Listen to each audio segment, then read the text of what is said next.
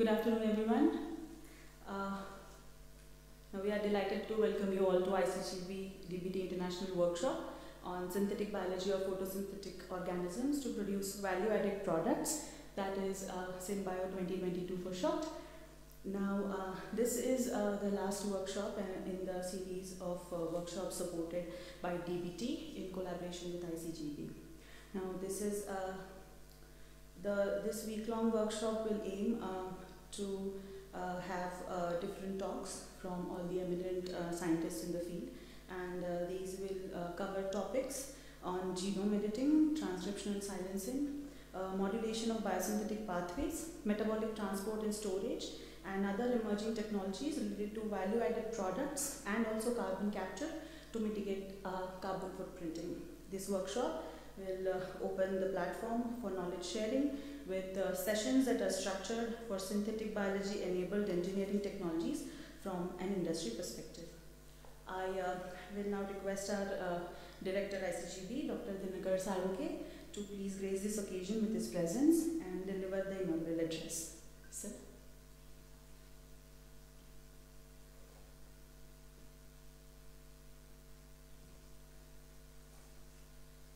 Good afternoon, everybody, and uh, it is.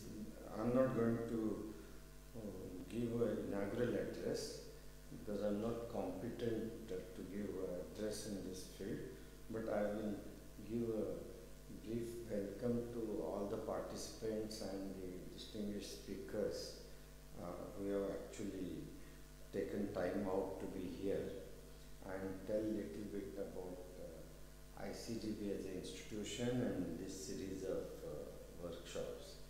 Uh, the, this is not the last in the series of these workshops. This is only the sixth in the series. We will have another six workshops uh, subsequently because uh, very soon to be finished within next six months or so. So uh, these are uh, set up 12 wet workshops that we planned originally to be held in 2020-21, but uh, pandemic uh, couldn't allow us to do that. We didn't want to do these workshops uh, online because they were meant to be hands-on workshops and so we delayed it. Luckily, things have much improved during this year and we began uh, arranging. So, ICGB has a long history of providing hands-on training to uh, students, junior faculty, postdoctoral fellows to come and work in the areas in which we have expertise, but also in the areas peripheral to our interests, where we can get uh, scientists invited to demonstrate uh, new techniques. And in that sense, about uh, uh, three to five thousand uh, students have undergone training in last several years. But at some stage, our host country funding, they thought what we are doing is minuscule compared to what is the requirement in terms of uh, advanced uh, biotechnology activities that are going on. So just providing training in a year, uh, three or four times in uh, areas as we were covering earlier, using ICGB's uh, funds specially for this purpose is not um, going to cover much of the uh, developing world, particularly member countries' interests or even within India. So they actually thought giving special funds for us to enhance our ability to conduct these workshops and we decided to do as a starting point at least six workshops in a year, uh, which meant every two months a workshop. And uh, we took up this uh, to be done in two years, but uh, as I said, pandemic sort of uh, affected our plans. So since we got some relief in last uh, three months or so, we began organizing this and at this go at least we decided to do it uh, in a much faster way and that is how these six uh, workshops were uh, planned and organized very successfully, almost back to back. Uh, another workshop in bioenergy area was just finished yesterday.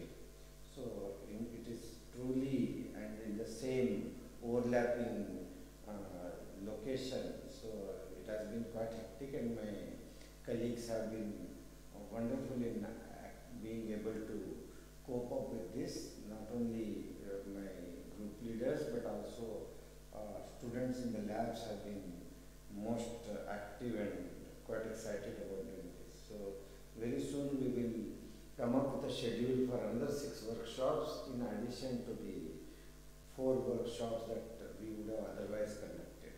So it is it almost like a continuous ongoing process and which only covers one of the mandates of uh, ICGB that is to provide advanced training in contemporary areas of biotechnology for the participants within India and uh, from the member countries.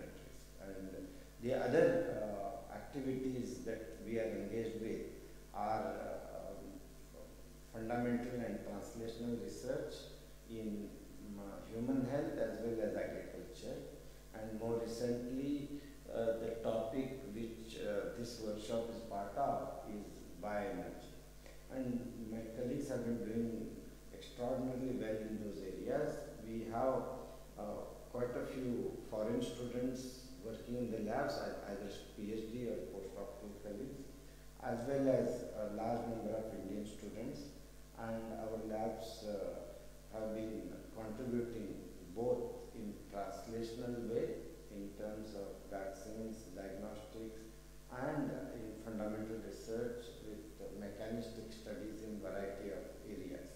So we have been active and uh, I recommend all the participants, including uh, the invited speakers, to interact with many more colleagues outside uh, bioenergy and get a feel of what ICGB uh, is. Uh, and I think uh, you can also explore uh, uh, the entire campus. The temperatures have come down, so the evening would be really beautiful before the. And uh, welcome to you all again, and thank you for giving me opportunity to speak here.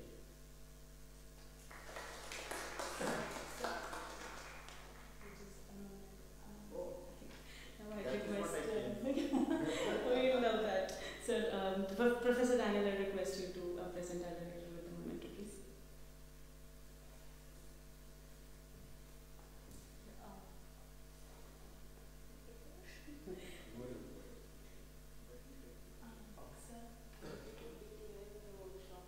Okay, I will first take it and do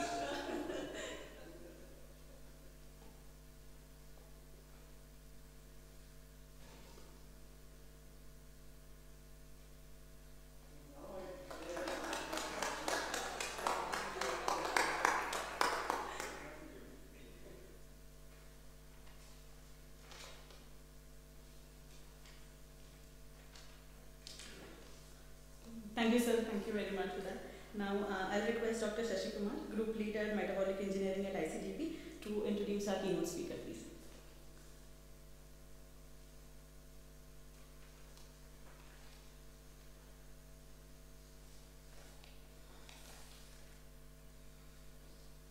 Uh, For today's our uh, keynote uh, inaugural speaker is uh, Dr. Henry Daniel.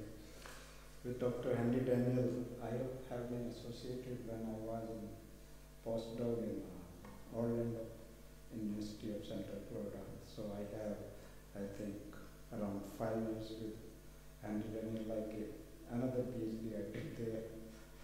And uh, Dr. Daniel has been associated with ICGB from long time. He told me once, I think it may be Dr. Raj Bhatnagar who might have organized the workshop here. He bought the first gene gun when India never seen the gene gun.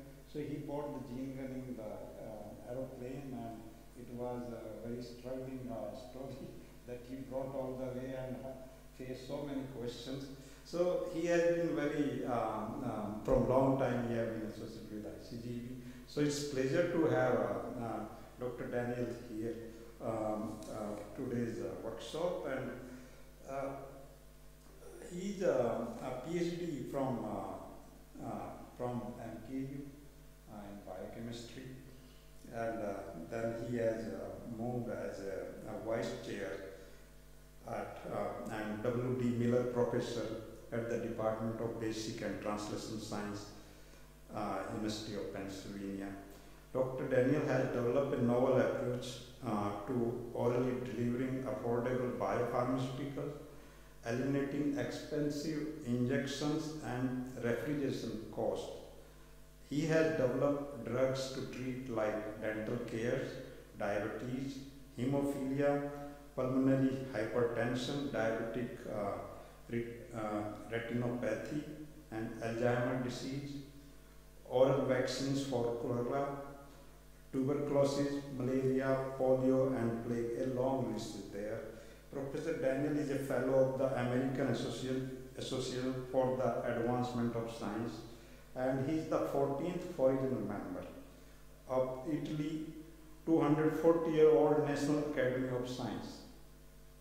He has been honored for his groundbreaking work by organizations like American Diabetes Association, the American Heart Association, and the Bill Melinda Gates Foundation, and is the recipient of the Bayer Healthcare Global Awards. So, um, if I will uh, keep on uh, adding all the accomplishment he has made, it will be a long list. So, I will give a break here and I invite uh, Dr. Daniel to give his uh, lecture and enlighten with the modern work of uh, plant biology.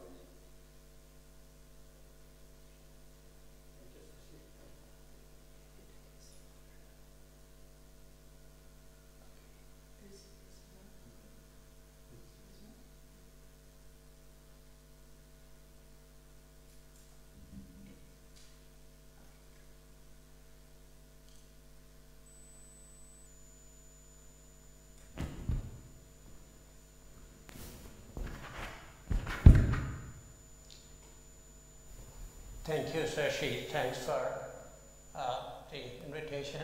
As you mentioned, yes, it was 1988 that I was here. I brought the gene gun, and at the customs, uh, I was asked to show the gun license, and uh, it was interesting. And uh, Siva Reddy was uh, assisting in the workshop those days. Krishna Kumari was the director, and uh, it's come a long way and it's wonderful to see Sashi doing very well.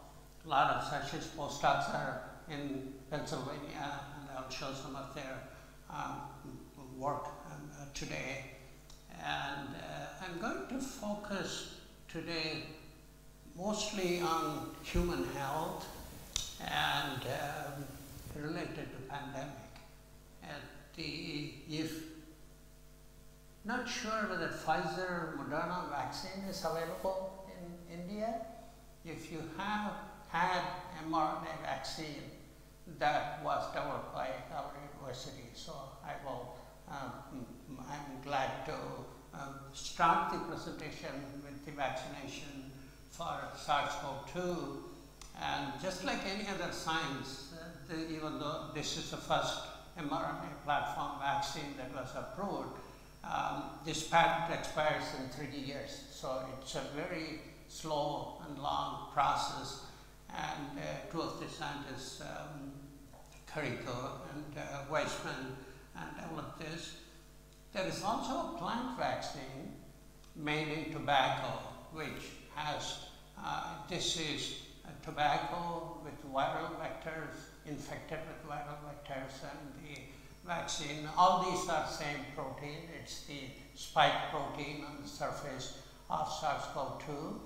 Uh, no matter how it's delivered, um, I understand there's a DNA vaccine in India too, so it's all the same protein, and I'll show you in a minute. In this case, this is with maybe viral vectors purified and injected. This is phase one, and it's been approved by Health Canada, but not yet from US FDA. Very, two weeks ago, they published a phase three, but nowadays, when you have phase three, it's emergency use authorization, so it's already being used in uh, humans.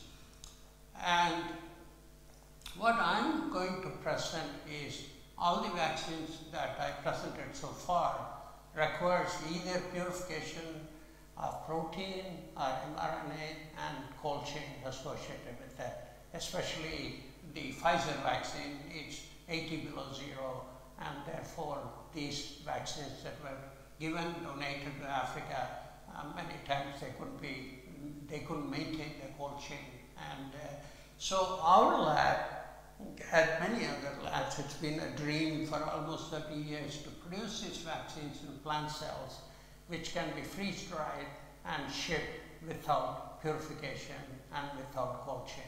And that's what I'm going to present today. One for therapeutics to treat SARS-CoV-2 and another is to uh, trap the virus and prevent the virus from self-infection or um, reinfection and transmission. The, in a sense, the vaccines are used all over the globe, but transmission is still a problem, right? Many of us have had vaccinations, double shots and boosters and so on, but still we transmit. And that's because the virus, yeah, the vaccine doesn't neutralize the virus on the surface. And so that is one problem. And in fact, the viral load is the same between vaccinated and unvaccinated people. And second is that the SARS-CoV-2 replicates in the salivary so it lays in the saliva. And the transmission orally from the throat and from the saliva is three to five orders of magnitude higher than nasal. If someone sits next to you doesn't wear a mask, and even if two hours the virus that's transmitted is negligible compared to that person opening their mouth and saying ah. If they say four words ah, that is the three to five orders of magnitude more virus coming out. All these studies, excellent studies, have been done.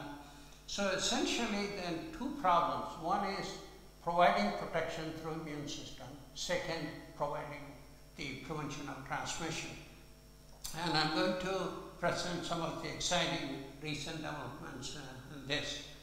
But our goal has been to not only develop the medication, but make them affordable. The two highest costs for expenses are purification and the cell culture fermentation. So fermentation this is the way how pharmaceuticals are produced. It may be different from algae, which can be grown differently, but if it's yeast or E. coli, it follows the FDA guidelines, and these fermenters are very expensive. And other thing is you have to purify them and inject them. Once you purify the protein, the proteins are highly unstable, and therefore they have to be refrigerated.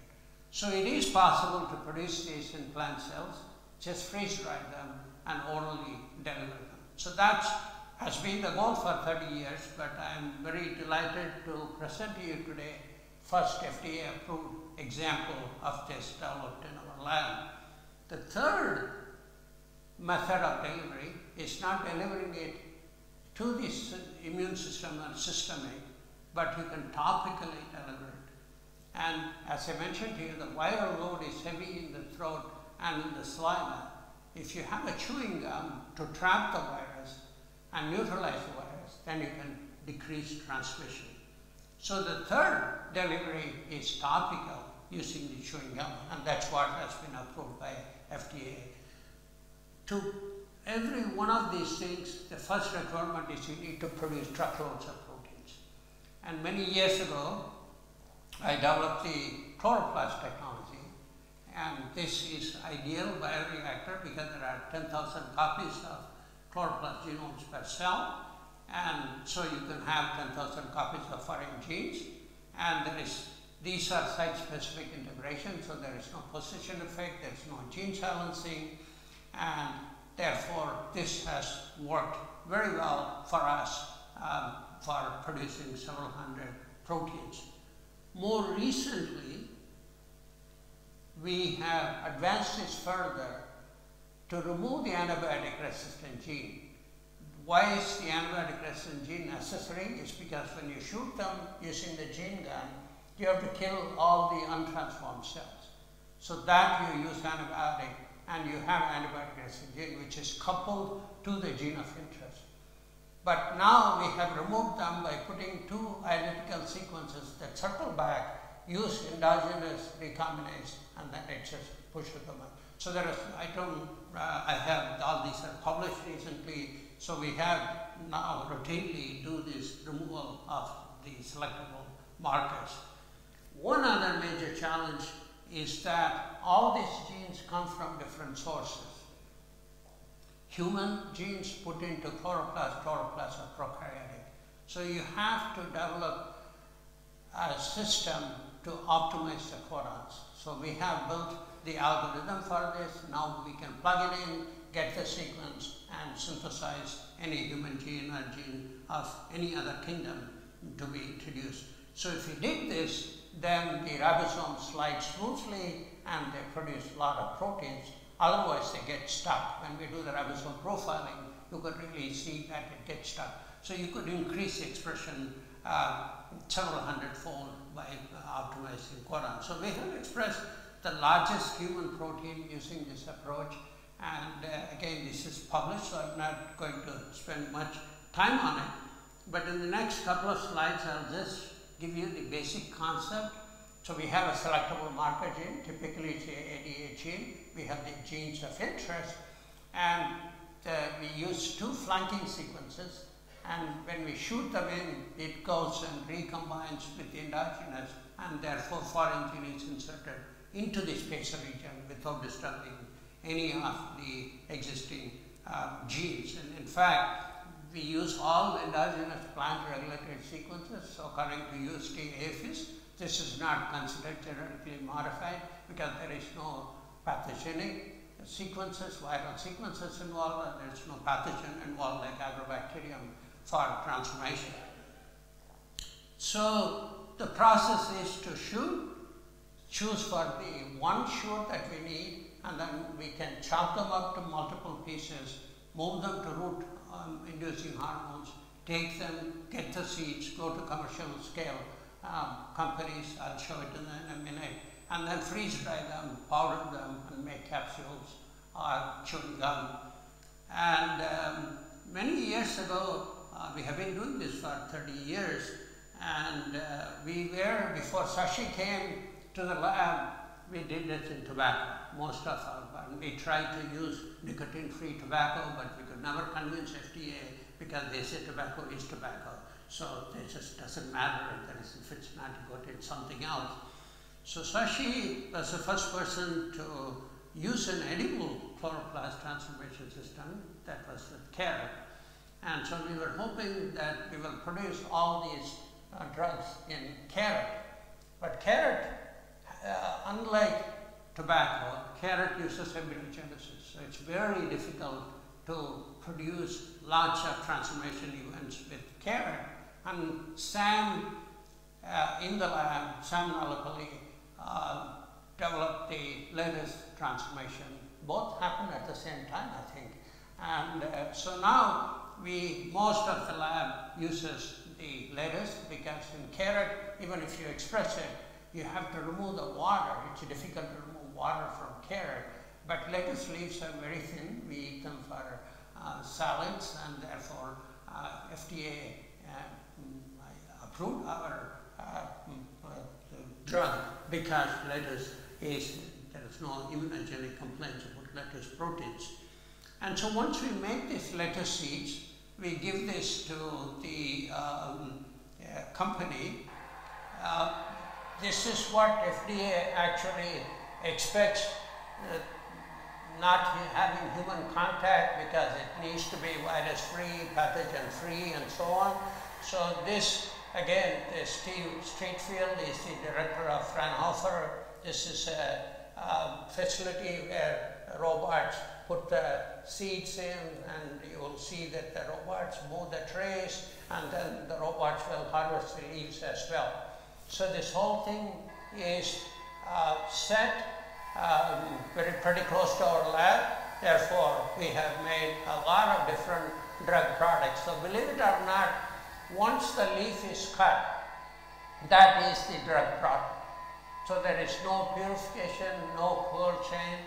Once the leaf is cut, it still has water, but the water needs to be removed. And FDA has a lot of regulatory guidelines to remove water and the moisture content needs to be, each batch of the dry powder should provide the moisture content. And in New Jersey we have the Aerofarms which produces lettuce and supplies to five eastern states including New York, New Jersey, Pennsylvania. So they also produce our ACE2 lettuce. Otherwise they supply salad lettuce, but for us they produce the ACE2 lettuce. So when we compare the Fraunhofer, you know, and uh, you know, when they sell lettuce, they say we know how to grow it. As you can see, they really don't know how to grow it because they can sell lettuce leaves, but not high protein content. So when we ask them to monitor protein content, their salad leaves were less than half of protein um, what a real lettuce, good lettuce should be. But for us it's important because our drug is a protein drug. So we look at this and as you can see, um, we compare the fresh weight and the dry weight and we need to show the moisture content. And the good news is that one kilogram of dry leaf biomass can produce up to a million gum tablets. So when we develop this to block the SARS-CoV-2 from transmission and infection, we are not targeting only those people who are infected with uh, COVID-19. This is a prophylaxis, so this should be taken by anybody because no one knows when they are going to get infected and therefore this is immediately uh, treated. So thankfully one kilogram can produce up to 800,000 or a billion uh, gum tablets. Some of the other requirements of FDA are how long is the product stable. In this case we show that it's stable up to 150 weeks. So once you dry the plant cells, they stay put and we have to tell, show FDA how we monitor degradation. And we have shown simply by Western blots looking at the clean products and the clean product should exceed 10% of the full length product. So they allow, we specify that 10% degradation um, is something that would be a variable from batch to batch. And um, the, so there are two examples that I'm going to show you. One is the lettuce which we engineered. We also, if there are countries where they are, uh, have aversion to GMOs, then we also developed the natural bean, this is the faba bean. The bean powder also has a viral trap protein called frill, and I'm going to show you in a minute. These two work very differently. The ACE2 is the enzyme that the virus binds and inactivates, and ACE2 is the receptor through which virus gets in. So if we naturally produce ACE2 in the saliva and in our plasma. ACE2 is a key metabolic enzyme in our body. But the virus overwhelms the system because there's not enough ACE2 to fight back. So we put H2 so that it can fight back, trap the virus, or block the gates by binding to the H2 receptor. Frill, on the other hand, binds to the surface glycoprotein on any virus. This is not only for SARS-CoV-2, this is for uh, influenza, HPV, herpes. So it aggregates the virus and traps it in the gut.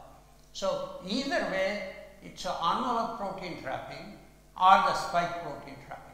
And I'll show you the, uh, so this is the mechanism. In case of SARS-CoV-2, the virus has a spike protein, the spike protein binds to ACE2 or uses the ACE2 receptor. And interestingly, the virus also uses two GM1 receptors. Some of you are working with CTB. So in this case, we made CTB ACE2 so that it blocks both gates of entry. And uh, the good news is when FDA approved CTB ACE2, they also approved CTB. So we can use this as a delivery system. One other thing that was developed at Penn was this is done by simply taking the virus in the saliva, add antibody to it. When the antigen antibody forms a complex, you add hydrogen peroxide to it. And when they form the complex, it removes oxygen from hydrogen peroxide and it forms a bubble. And each bubble is one virus. And so we can really see the bubbles and count how much virus is in the saliva. And we then add gum powder to it. We take the patient, these are all COVID-19 patients in our hospitals. We take the saliva, add the gum powder, and then within few minutes, all the bubbles disappear. So that means they are trapped.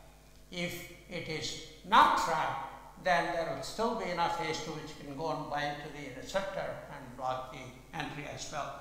So the beauty of this is that you only need just one microgram of this in a gum, but each gum has 800 micrograms. Why so is because when people keep chewing, it will keep releasing. The, so it will be a continuous release, so we have about 800 fold more than what is needed. This um, received a lot of attention when this was published. So the bubble sizes also vary from patient to patient. Some of them have lots of small viruses, some of them have much mature viruses and so on. So all these are cell phone photographs of the virus.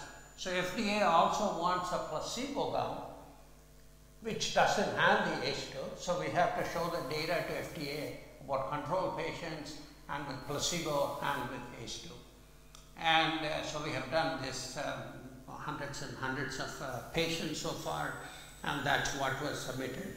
For flu, we tested this in, by actually taking electron micrographs to see how the frill, when you add the frill, it aggregates. Just it sort of binds to the surface glycoprotein, and as you can see with frill, this is influenza virus, Singapore strain. We also tested the California strain. It aggregates so the virus cannot enter into the human cells. So both are trapping with very different mechanisms. So when you use frill, Oh, by the way, the previous slide, I forgot to tell you that it works with different Omicron strain or Delta strain. And different Omicron strains, A, B, um, more recent B versions, we have tested all of those. So it works for different strains. Same thing we tested for flu. You could see this is with Omicron. You could see you add flu. So the good news here is flu doesn't need FDA approval. It's a bean powder. You just take the bean powder, make a gum and then deliver it. So this doesn't even need a IND, so we are moving forward.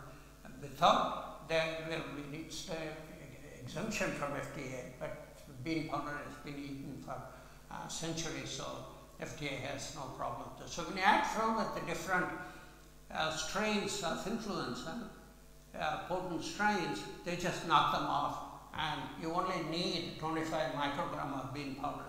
Again, we have a hundredfold or 500 fold more of the capacity to, to, to trap.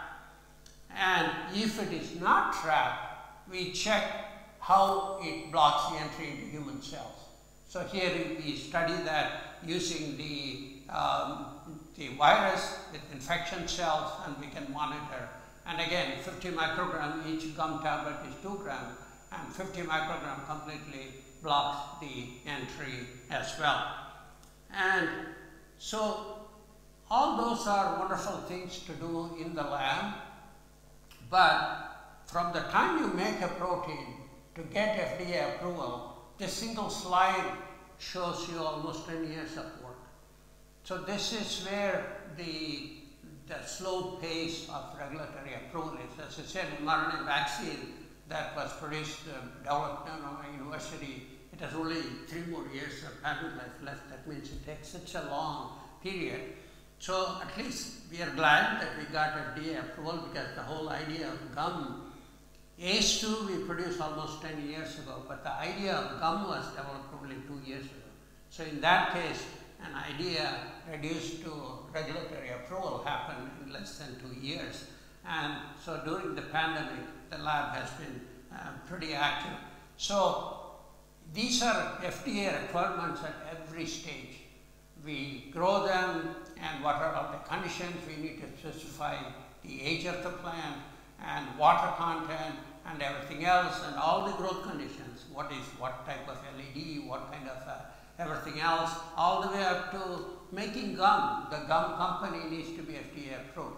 So the gum, when you heat the gum to roll it, uh, the protein needs to be stable. So we show the stability of the drug substance and drug product. That's what FDA calls them, plant powder and plant powder in the gum. So we have to do those.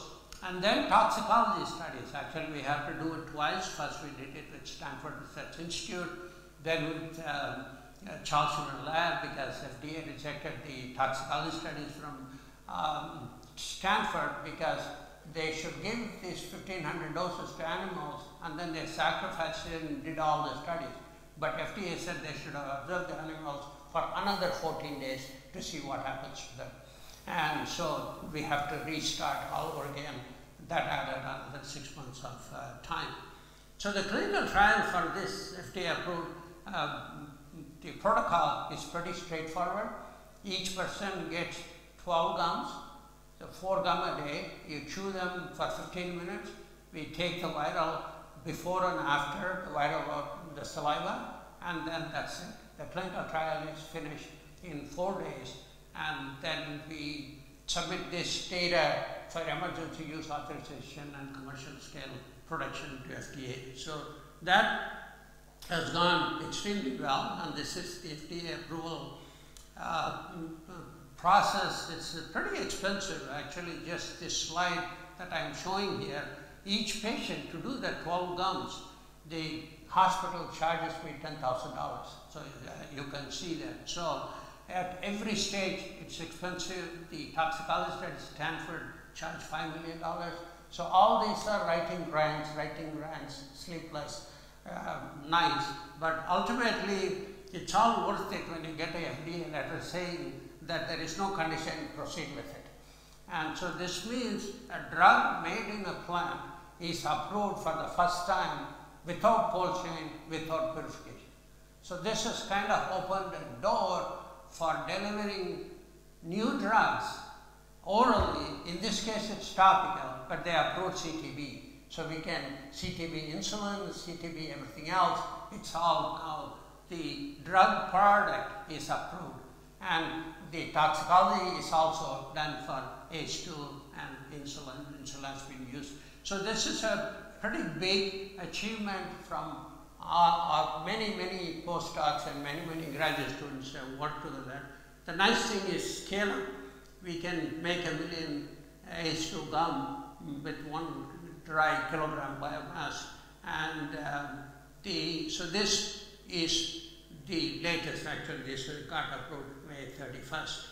So at this stage, actually, I will take a brief pause to take some questions because the same ACE2, when ACE2 binds, when virus binds to the enzyme, it inactivates the enzyme and it causes a lot of problems in the body. Most people who died, died of respiratory problem, heart failure, and all this I'm going to explain to you the mechanism and therefore our parallel clinical trial is to give ACE2 in capsules to treat the symptoms because that's what the virus is attacking and we want to supplement the ACE2. But um, could I stop here and take some questions? Yes. Uh-huh. Mm-hmm.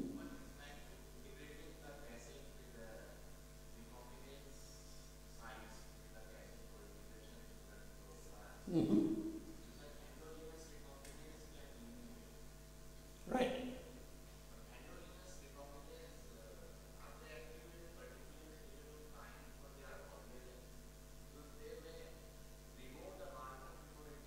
Right, right. Very good question. Actually, the Krelok system introduces a recombinase and then uh, uh and the Cre sites for the recombinase to excise. Thankfully, chloroplasts have its own recombinase, which is very good in recombining. And uh, so we are using that, but the basic principle is that you need a minimum of 500 nucleotides, identical sequences for it to um, form the stem loop to eliminate. So the challenge in removing the marker by putting this is that we don't know when that happens. Is it happening the whole cassette integration and then that could come back? But then those flanks are not identical. So it doesn't affect the integration. But we cannot predict when the AADA gene is excised, when the antibiotic resistant gene. So what we do is when we chop them into green shoots, we plate them on plus and minus antibiotic. So if the marker is removed, it cannot grow in the antibiotic. So we just use the selection process to choose them.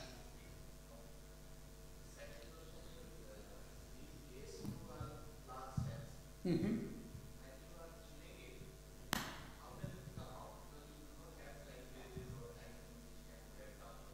Right.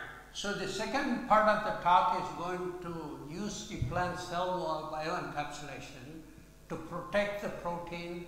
It gets through the stomach and then the gut bacteria will release the enzyme to break down the cell wall and then it will be absorbed. So that is oral delivery. For topical delivery, we do not use intact plant cells, we grind them fine so that it is released in the, when you chew the gum, it's broken plant cells, so the enzyme is released immediately and if it will be digested in the stomach, therefore there is minimal absorption from the chewing gum. But for oral delivery, you need to have 90% or greater intact plant cells. Yes? Saliva has a lot of other uh, content when you chew the, Right. with chewing gum. So your is is two uh, things doesn't get destroyed at all. Mm-hmm. When you are taking with with the chewing gum, Uh-huh. the ACE2 which is released during the in the saliva and mixed along with the saliva product, it doesn't get destroyed. No, we have tested this. The, I will show you actually there is also H2 in the saliva Mm-hmm. naturally. Mhm. So we both are identical proteins Mm-hmm. and is not uh, degraded at all. And then uh, you are going to tell us the absorption. Right, right, yeah. The acidic pH in the stomach. Right, I'll, I'll get to that in a minute, yeah. Yes. So the, for chewing gum, we have a hundred to five hundred fold excess in the chewing gum and there is no dosage requirement for this because our goal is each individual has different quantities of virus in their saliva. So no one dose can be used. So we use an excess too. But this is an enzyme that's naturally present in the saliva. So uh, there is also naturally produced saliva as well. Uh, H2 in the saliva as well. But for when a drug is absorbed, which I'm going to show you in the next part, dosage is absolutely critical. For example, if you use insulin, if you use excess insulin, it will go to hypoglycemia. So I will show you how that is monitored in a minute. Okay, so I'll move on to the so the next phase, as uh, already from the questions you heard, that the how is a drug delivered oral? And in this case, as I mentioned, the virus binds to this enzyme. It messes up a key enzyme which is instrumental in regulating the pathway these, uh, which results in, if you look at the people who died of COVID, majority of them had blood pressure, and heart disease, and of course diabetes people are prone, but diabetes is not directly impacted by the, the ACE2 enzyme impacts heart and lung. So most people need a respirator because they couldn't breathe, because the lung oxygenation was um, destroyed by the downregulation of ACE2. And so our goal then is to show how can ACE2 be used as a treatment because that's an enzyme that the virus inactivates. And so the basic principle here is when a protein is protected in the plant by the plant cell wall, then human enzymes like alpha amylase, they can only break alpha bonds. Human enzyme cannot break beta bonds. And gut microbes can release enzymes that break the beta linkages. And therefore, in the gut, if it is protected from acids, acid pH, and enzymes in the stomach, and then if it gets into the gut, then as you can see in the bottom panel, the green cells are plant cells with GFP. But then you see GFP jump from plant cell to the gut epithelial cell. How did that happen? It happens because the gut bacteria breaks down the cell wall and then we put a tag, that's a CTB tag, which we, which FDA just recently approved the ACE2 and CTB binds to GM1 and transmucosally delivers into the epithelial cells. So that's the mechanism. Protection in the stomach, open release in the gut lumen, absorption into the epithelium. So that's the process. And so we can do dose dependent delivery. This is where dose which comes absolutely FDA really is critical about dose dependent delivery. This means FDA's question was, is there a difference among people's gut bacteria? Will it impact the release? And is there a difference in breakdown of the plant cell? So we make sure that greater than 90% of plant cells are intact. And um, then once we deliver it, we could, all the fibrotic lung fibrosis in COVID patients and inflammation and pulmonary vascular remodeling and artery arterial pressure, all these things can be reversed just by two weeks of taking these capsules. These are people who are advanced, who have, uh, and in fact, one of the common symptoms is the, you can see the right ventricle. In healthy patients, it pumps well, but it gets enlarged when H2 is inactive. H2 activity is decreased. So when we give them back, it comes back to the, restores the function. I can show you how the, the this in a video. If you observe carefully, the ventricle, right ventricle is so enlarged, it cannot pump. But if you can see, after two weeks of treatment, it restores 98% of pumping capacity. And uh, so both the lung and the heart symptoms can be reversed by uh, oral delivery of ACE2. So how does then this ACE2, what happens to this enzyme in COVID patients? As you can see, all these are patients in our hospital. The blue dots are people who don't have COVID, COVID negative. And the ones with COVID, you can see that the red dots are dramatically drops the ACE2 activity. And initially when we observed this, people said that, well, this is maybe due to the sample, uh, we have some anticoagulants, uh, EDTA in the uh, tube, so um, some disagreed with that, so we did without EDTA, with EDTA and combined data. Even more interesting is H2 in saliva. So the H2 in saliva, the blue is healthy, the red is COVID you could see enzyme, whether it's H2 in plasma or saliva, the virus binds it knocks off the activity the spike protein. So feeding this then restores the, the activity. You may see some blue dots uh, in healthy patients at the bottom. These are smokers. When people smoke, that also affects the ACE2 um, activity. So, so saliva we developed this H2 as a marker because right now in the US, when you do PCR tests, if the CDC, when somebody is positive, CDC doesn't recommend testing again for 90 days.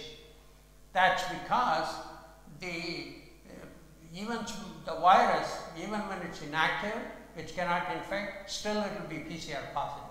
So there are more biomarkers are needed. So we have developed H2 as a biomarker as well. So there are a lot of clinical trials. One of this is convalescent plasma. You can see when people get convalescent plasma, the H2 level goes back up. And uh, so it's a pretty interesting observation that we have developed this. So it's not only ACE2 activity, but also ACE2 enzyme product is called ANG17. So either you measure ANG17 or you measure ACE2 um, activity. Surprisingly, when we got autopsy samples in the early stages, a lot of people died of COVID. So we had a lot of autopsy samples. So we thought ACE2 in the lung will be affected, but our uh, immunostaining showed that there is no difference between control and ACE2. So mostly ACE2, soluble ACE2 in plasma and saliva is what is affected. So we have developed this as a biomarker um, and treatment. So this clinical trial, unlike the ACE2 gum, which is for three days, this one is for two weeks, and we treat patients in emergency room, in the hospitals, we give them and we monitor this. So this is another Um, trial that is ongoing.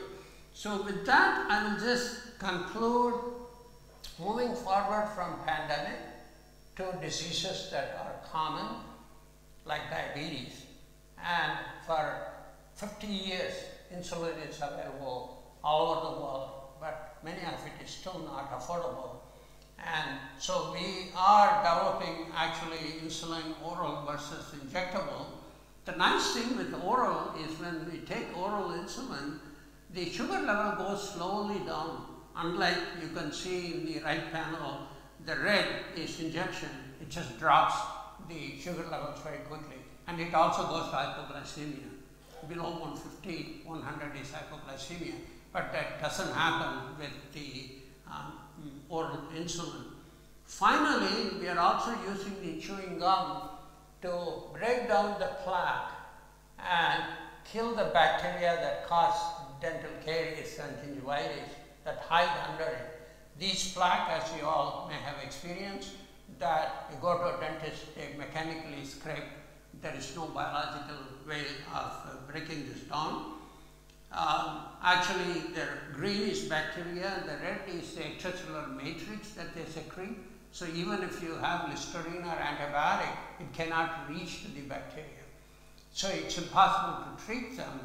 So we have developed this chewing gum with this enzyme which breaks its dextranase mutinase. It digests the extracellular matrix and then more importantly it's also lipase. Lipase uh, destroys the fungal colonies as well. So it is both candida and strep mutants. Both are. Uh, so this is another thing which uh, we are using the chewing gum approach.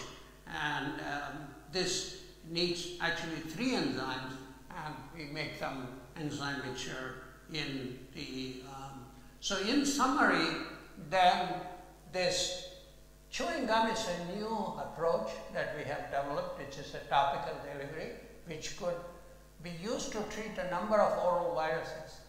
It's not only SARS-CoV-2, influenza, flu, and herpes, HIV, and all these things are transmission could be controlled using the particles. And as I mentioned at the beginning of the talk, transmission happens for viruses mostly through oral particles and minimally through nasal. And therefore, it is important to control uh, transmission.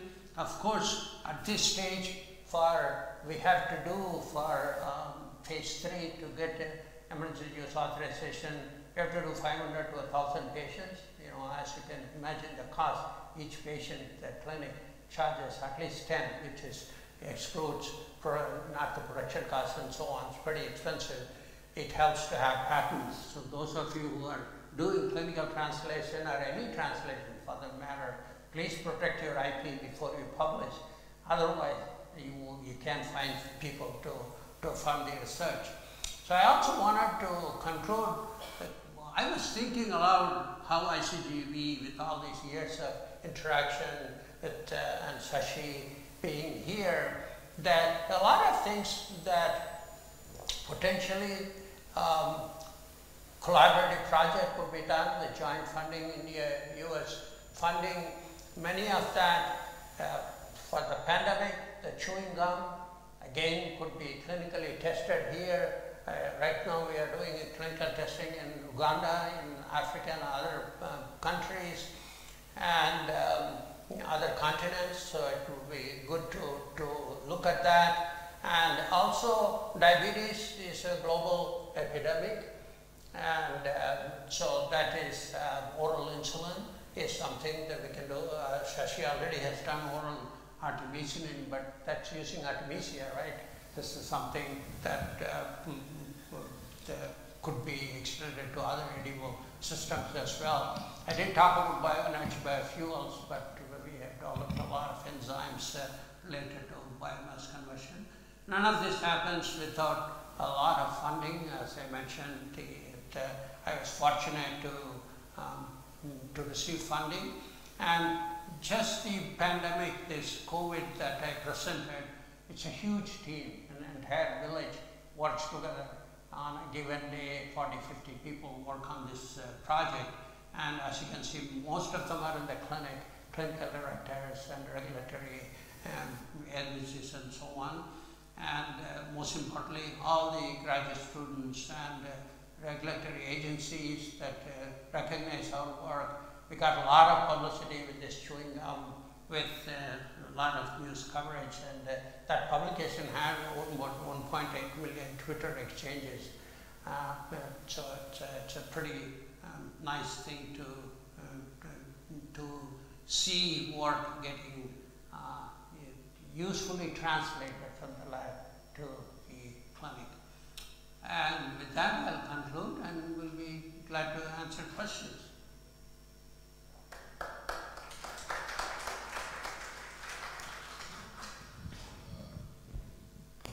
Yes. Another important aspect is the mucosal immunity. You know that uh, for the because viral goes through the nasals and mucosal immunity is also it is uh, usually not generated that good. So can you encapsulate this uh, kind of thing so that it can be taken with steam? Uh, this one? Are you, sorry, if I understand, are you talking about nasal, intranasal delivery? Yeah, intranasal delivery, when we take the steam, like gelatin, uh, you can take many other wigs and other right. things, you know, you right. take it. So right. similar, if uh, you can create some stability. Sure. And then take through nasal route mm -hmm. some of these things, right. then the transmission itself through this route is also. For transmission, it probably will not work because the virus replicates in the salivary glands. So then the it, initial site is the throat where it lodges, and then it continuously replicates in the, uh, the salivary glands. So nasal passage has nothing to do with viral replication. And the, in advanced cases of disease, there is the upper lung and the lower lung. The lower lung infection is where they need the intubators. And that is because the virus has multiplied so much. And uh, nasal delivery has so far failed. Nasal insulin was developed many years ago and uh, it got approved by FDA, but then there was not enough patient um, population to use that because of the limited nasal surface. So for drug delivery, actually gut is the largest absorption surface, so we prefer gut. And nasal also is supposed to give mucosal immunity, but then again, there are not, as you can see, so many vaccines got approved non-nasal. So the nasal continues to be a problem because of surface. No, I'm talking about the flu, but in particular not for the insulin and others, but mm -hmm. for the flu viruses, this is uh, one of the things which people are believing that that some of the uh, virus can be neutralized in the nasal region and they will not even infect the upper uh, the, the, the, Right, right. As I said, it depends on, even for chewing gum, it just needs to be continuously released. Okay, so if there is a nasal spray which is done every 30 minutes and so on, possibly it might work because the, you need a continuous supply of the viral trap protein.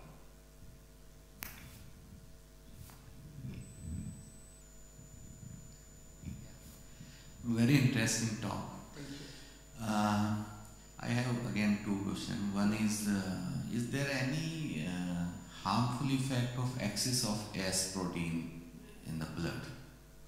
Because you will be giving through gum or through intestinal delivery. If in a healthy individual you have more S2, then what uh, could be a negative effect of it on the health?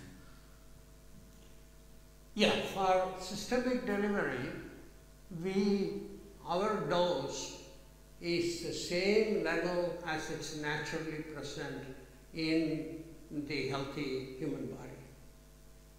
Which so our delivery there is 400 micrograms. That is the level that's seen in the plasma. And uh, in fact, ACE2 has been injected for COVID-19 patients as well and uh, so they needed to inject twice because the level the plasma degrades it and therefore yes the dosage for any systemic delivery you have to maintain the dose so there is no question of giving higher dose it's the same level as in the healthy patients Yeah, okay. The second question, right now people are also exploring other microbial hosts for delivering drugs, for example, yeast or bacteria, because they are commensal to the gut. So, is there any advantage using plant as a delivery system for the drug as compared to other microbes? Absolutely. So insulin is now sold by two commercial methods. One is E. coli, the other one is yeast. E. coli they make A chain, B chain, form disulfide bonds in vitro. Yeast makes with, with disulfide bonds, it's uh, secreted. Both are the two systems. No, no disk is yeast, Eli is um, E. coli. I think probably um, Majumdar's is also E. coli, I think. Um, that, that's Biocon. Uh, so none of them can be given orally because you have to purify from yeast and E. coli proteins. So the biggest advantage is eliminate the purification cost. Second, insulin needs to be stored cold. If people are going on cruise for longer than two weeks, then they have a problem there, what called storage and maintaining. So plant cells, as I showed you, insulin in plant cell can be stay, stored for ambient temperature for many months and years. So the two advantages of plants are stability at ambient temperature. Second is no need for purification. That translates into huge cost advantage. Yeah, I understand. No, but, but I was a little different question I was asking. For example, Saccharomyces sorrentum. Mm-hmm. This is required for healthy gut maintenance, like a prebiotic.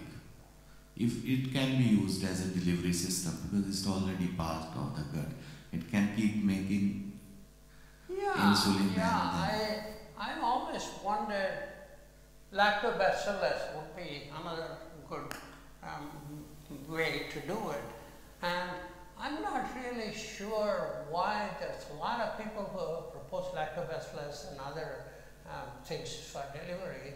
Has nothing has come to the uh, that I am aware of come to the clinical testing level. So one thing that I know with lactobacillus is it needs to be secreted. When it is secreted, it gets digested at the stomach enzymes. So it needs to not secrete while in the stomach, but you need to induce secretion when it reaches the gut. And then the protein is to cross the gut as well. So you could make the same tag, put it in lactobacillus, but I think the problem has been secretion, timing of secretion or programming of secretion. But I, I'm sure if plant cells can do it, there should be other cell systems that could do it as well. Thank you.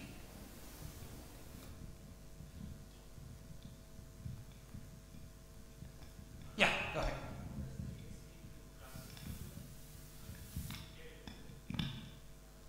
ACE2 is fused with CTB. So CTB forms a pentamer and when it's in a pentameric form it binds to GM1 and GM1 is a ubiquitous receptor present in all cell types and very heavily loaded to the gut epithelium. So it binds to GM1 and GM1 ACE2 is transmucose and we have engineered a furin cleavage site. Furin is a ubiquitous protease and it cleaves it off. So when we measure in plasma, we don't see CTB ACE2, we only see H2. So the process is first GM1 forming pentamer and chloroplast form disulfide bonds and forms the pentamer. And then it uh, cell needs to be opened, it binds transmucoses, and then once transmucosal delivery is done, the CTB needs to be cleaved off.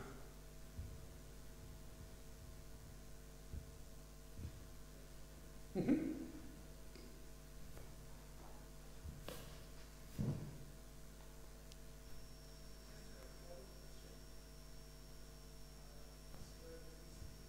So, uh, did you had uh, some additional, uh, you know, safety thing to study because uh, getting approval with CTB would be a bit challenging, right?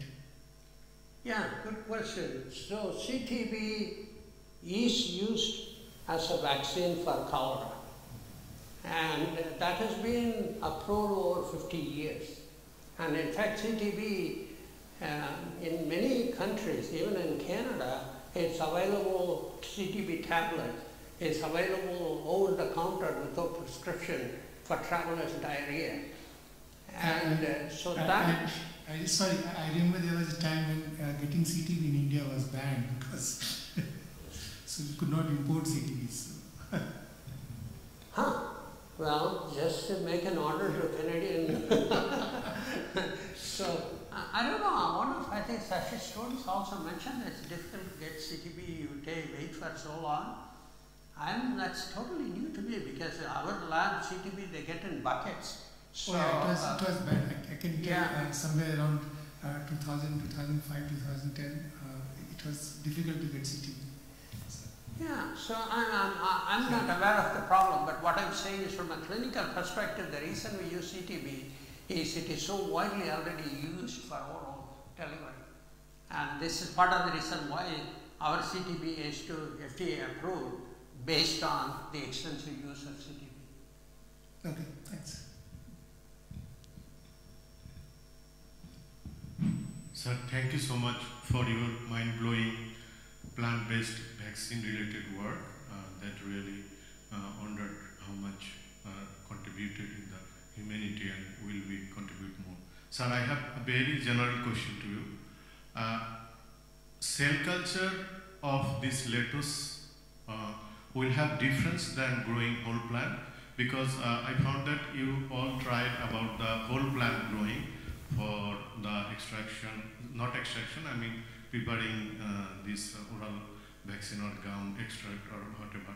But oh, why not cell culture? Is there any drawback uh, doing cell culture of lettuce for this purpose? Uh, good question again. Actually, the first plant-made pharmaceutical was made in carrot cells by that's the glucocerebrosidase to treat Gaucher's disease. So that was approved. It's made by Protalix. That was approved almost 10 years ago. So that was the first plant-made pharmaceutical uh, developed in plant cell culture. The only I'm not sure why the carrot made, uh, cell culture made glucocerebrosidase cost the same as CHO cells. It could be business reason or the the company says most of the cost is in purification. So they try to orally deliver uh, the glucose cerebrosidase as we do. They freeze dried it, and, but the expression level is very low.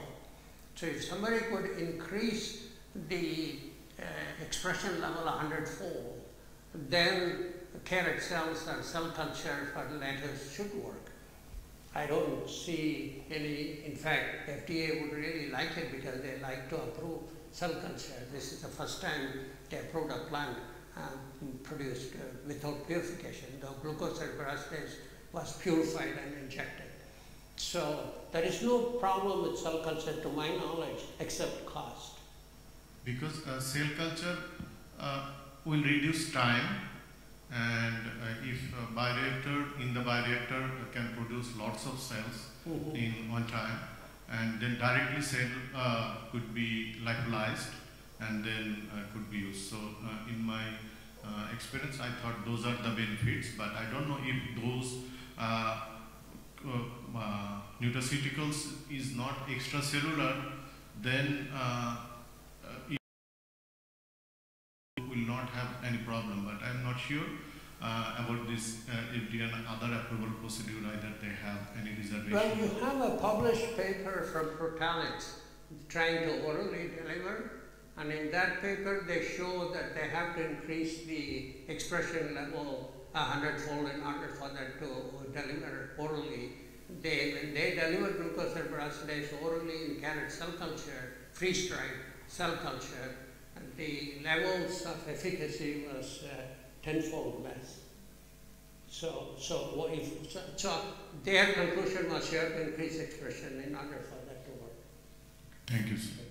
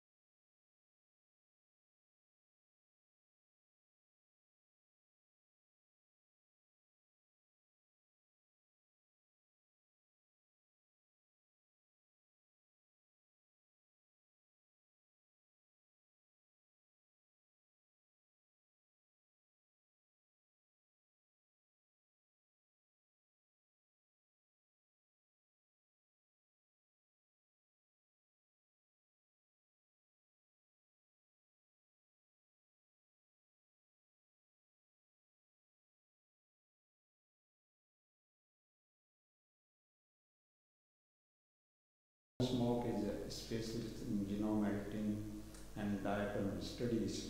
So he obtained his PhD uh, in two, 2003 at uh, Bremen University, Germany, and joined the University of East Anglia, UEA, in 2007. He was a DAAD postdoctoral fellow at the School of Oceanography, University of Washington, US. His research mainly aims to identify fundamental biological processes that govern the adaptations and evolution of marine phytoplankton in the oceans. Marine phytoplankton contribute about 50% of annual global carbon fixation. It's a very important point that 50% CO2 is fixed by the this phytoplankton. Thus, their adaptation and evolution in the context of biotic and abiotic interaction in different marine systems from tropics to the poles does not only shape marine food webs but also biogeochemical cycles that drive. So he's a very uh, uh, great person in genome editing work in diatoms and uh, I would um, like to hear uh, his talk and I hope you will enjoy. Please give big hand. Thank you, um, Shashi. I hope uh, you can hear me well. Uh, if not, please um, shout. Um, thanks for bringing me here, Shashi. Also, our collaboration goes way back, uh, many, many years, and I've had a wonderful student, PhD student in my lab uh, from your group, and uh, we were teaching her uh, how to genetically modify um, algae, which we do. Um, so, just to warn you, my talk will be very different to the talk you have heard from Henry um, Daniell. Um, it will be focusing on marine organisms, uh, which are not as advanced as plants. Um, I will focus on algae. Uh, we still have a lot of uh, uh um, uh, things to catch up with when it comes to comparing algae research with plant research because our uh, field is much, much smaller. So, um, but therefore, Shashi gave me a title, and the title he gave me didn't contain the word fundamental. So I've edited it because what we still need to be doing in our field is really to look at the diversity of algae because there are, there, there are so many different species out there we have no clue about. And to me, this is a huge resource for um, novel um, chemicals, for novel mechanisms underpinning global biogeochemical cycles and underpinning these uh, vast um, food webs we have in the largest of all ecosystems on Earth and this is the oceans, of course. So um, with that, um, I like to um, show you the structure of my talk. Uh, it will be divided in uh, three parts. So the first part will address the question about algal biodiversity and how to use um, uh, algal biodiversity for bioprospecting. And we do this from pole to pole. We do this gene by gene and genome by genome. And this ad addresses basically the discovery of novel uh, models, so not only identifying genes that potentially are of interest uh, for biotechnology. We also want to hopefully identify novel model species we can use in the lab um, uh, as tools for biotechnology. The second part will be uh, introducing um, CRISPR-Cas uh, methods. Um, uh, we have pioneered CRISPR-Cas in diatoms in uh, 2006. This was done by one of my postdocs uh, together with uh, a collaborator at the Norwich Research Park. Um, and I will present some data and how we can use CRISPR-Cas uh, for algosynthetic biology. And the last part will be about our startup. Uh, it's called Omicron CR, our startup to help you have a little present uh, for all of you in the room to help you with algal slash plant synthetic biology based on CRISPR-Cas. If you're interested in applying CRISPR-Cas based genome editing to address your questions, and this is, can be any, really any question. Um, so as we, or as you uh, may know, the ocean contains, uh, contain really the majority of biodiversity on our planet. At the same time, they are the least explored habitats, specifically when it comes to polar oceans and the deep sea. And they cover, they cover a significant part of the um, Earth's surface, yet our understanding about the biodiversity very, very limited because most likely of access issues. It's very difficult to get to the poles, it's very difficult to get to the uh, deep sea, but technology advances. So for me, bioprospecting the oceans in a sustainable way, therefore, will help to address grand challenges. And this could be, as we have seen in a, a previous talk, antibiotic resistance, food shortage, pandemics, consequences of global climate change, because the oceans are a focal point of addressing um, global climate change, because they're impacted and they uh, uh, they give us 50% of the oxygen we, we, we breathe. So we need to look after the oceans uh, in, a, in a sustainable way, basically.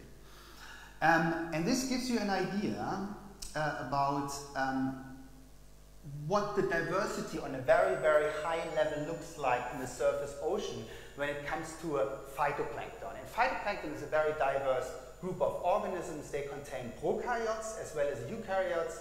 And the most abundant uh, ones are shown here in green. This is Prochlorococcus, this is cyanobacterium. We have Synechococcus in blue. Flagellates, uh, they would contain dinoflagellates, for instance, and the group of diatoms I mainly work with. And this animation shows you over a seasonal cycle how, how much dynamic is uh, involved in, uh, in, uh, in how these organisms are distributed uh, across the surface ocean. You see this, and how they're distributed in general. So you see, for instance, the group of diatoms and flagellates, they're mainly distributed where we have cold water, where we have upwelling systems, and so on. And you have where we have more stable situations, like in the North Atlantic, for instance, here, or in the South Atlantic, these ecosystems are dominated by cyanobacteria. And the most abundant one is Prochlorococcus, and then we have Synechococcus as well. And they are there because these oceans are limited by nutrients. And the polar oceans, they have much more nutrients and um, uh, to sustain or yeah, to sustain basically more productive um, ecosystems underpinned by diatoms and um, larger phytoplankton. So what we did is, um, a couple of years ago, uh, we started uh, with a pole-to-pole -pole, um, expedition crossing the Atlantic Ocean for assessing marine microalgal biodiversity, including their microbiomes. So no organism in the uh, ecosystem uh, lives just by itself. It's always associated with other organisms, and we know this very well. They're called microbiomes. Um, and uh, microalgae, they are quite often associated with prokaryotes archaea, and bacteria. So, so we need to look at these communities, at these microbiomes also in order to understand how microalgal biodiversity is being generated, has evolved over the last hundreds of millions of years. So what we did is um, we went with an icebreaker to the Arctic Ocean and then all the way down from here uh, to uh, the Antarctic continent and we sampled on a very um, frequent um, basis. And just to remind you, for those who are not so familiar with oceanography, how um, you know there's a very strong te uh, temperature gradient, which is obvious, but this temperature gradient also impacts the oceanography of the surface ocean. And what, what we know that above about 40 degrees north and 40, uh, uh, below 40 degrees south, you have seasonally mixed surface ocean ecosystems, right? And this has consequences for the productivity because if they are seasonally mixed, you always have nutrients that are coming up to the surface. Therefore, they sustain productive systems. And then you have between 40 and 40, you have permanently stratified surface oceans where the nutrient supply is much lower. Okay, and this has consequences for the biodiversity of, um, of these oceans, at least when it comes to phytoplankton biodiversity. So what we did is we did a survey based on phylogenetic marker genes. We used 16S and 18S rDNA, but only let's say from the Arctic north of Greenland to uh, uh, around here, south of um, uh, South Africa. And then we did, because we wanted also to, uh, to explore the genescape of these communities, we did a pole-to-pole -pole survey, and this was the first ever done for eukaryotic, uh, eukaryote enriched metatranscriptome. And here again, we measure temperature in the surface ocean. This very much uh, mix, uh, uh, matches what I have uh, showed in the previous slide. Temperature from the poles steadily increases with the hottest temperature at the tropics, and uh, we have again mixed for the north, for the south, and in the middle is more stratified. Nutrients um, uh, are more or less all over the place with the exception of the Southern Ocean. We have a strong increase in nutrients that are um, needed uh, by phytoplankton and this is largely nitrate, nitrite, uh, phosphate and silicon. The reason uh, why these nutrients are so high because the Southern Ocean is limited by dissolved iron. So these micronutrients, they can accumulate and this is very different in uh, other parts, at least of this transect. So uh, what we did is uh, we looked at the diversity of these um, algal communities, but also associated uh, bacterial and archaeal communities. And what you see on the left-hand side here is the beta diversity of these communities in relation to temperature. So we looked at all environmental variables uh, to see what kind of variable drives microbial diversity in the surface ocean the most for 16S and 18S. And on the right hand side you see alpha diversities. And these are all the stations, they got numbers, and um, the, the, this is what we knew. So if you look at local diversity, there's a clear um, a correlation with temperature. So the warmer it gets, the higher is the diversity of microbial communities in the surface ocean. This was known. This was unknown. This was unknown. So we saw that when we really go from low temperatures to high temperatures, that this is not a continuum, as we see here. There are breakpoints in the beta diversity, which describes dissimilarities between communities. So we looked at adjacent communities on this global scale and you know, compared local diversity uh, between these communities. And the beta diversity gives us these breakpoints at around you know, 10 degrees Celsius and maybe 15, 16 degrees. And um, then we did more or less the same exercise for um, the metatranscriptome sequences and again in relation to temperature and this was the only environmental variable that gave us this kind of result. For all the other environmental variables we tested, there were no breakpoints. It was more like a scatter plot.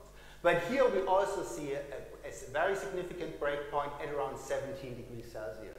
And this matches relatively well with the predicted ecological boundary between mixed surface ocean ecosystems and stratified ocean ecosystems. And this was also unexpected that we see this um, ecological boundary basically in meta-omics data sets from the surface ocean. And if you just plot so this is just, again, um, a correlation with temperature, but if you plot the beta diversity from really um, the um, north um, part of our transect to the Antarctic continent, you see the separation in a cold water, between cold water ecosystem and warm water ecosystem, which very nicely matches um, uh, how, how these um, ecological boundaries match uh, across the surface ocean, and not only for the Atlantic, but also for the Pacific.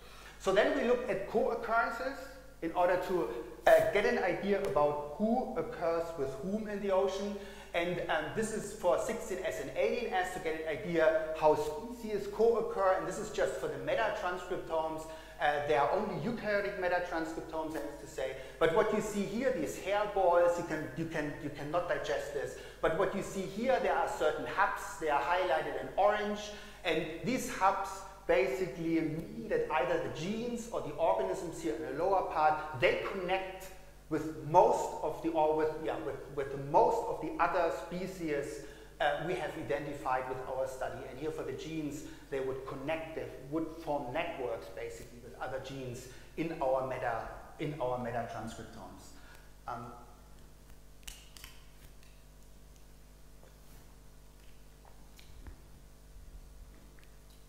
And um, just to give some, to add some names to all these, um, to all these networks, we see in the warm network, and we only found two really, these warm and cold networks. You see some species you would expect, like I, I talked about before, Synechococcus, Prochlorococcus, uh, Prochlorococcus here, um, and we have other bacteria as well as um, uh, fungi and algae, very well known to be occurring in these warm and stratified ecosystems. The cold network is um, characterized by um, also algae we know very well to occur in these uh, more temperate and polar ecosystems uh, for instance, Phaeocystis cordata. We have also diatoms here, we, uh, uh, such as Acto, uh, And um, uh, for bacteria, Colwellia, uh, Polaribacter, so they have all um, clades very well known to occur in more polar and cold ecosystems. And then we went a step further um, because to identify sequences and to annotate functions to sequences is only the first step. But you want to put all these genes in an environmental context, uh, in, in, in, in a genomics context, because this gives you then better ideas how these genes evolved, and you can also then identify species on the genome level. And this is what Anthony Duncan did, and his paper was just published in Microbiome, where um, from selected stations we retrieved the first metagenome assembled genomes. MAGs, maybe some of you are familiar um, uh, with this approach. Uh, for algal microbiomes. And um, the journal produced a very nice um, video I'm going to show now. It's just a minute or so, which introduces this paper. And then after that, I will give you some more um, details.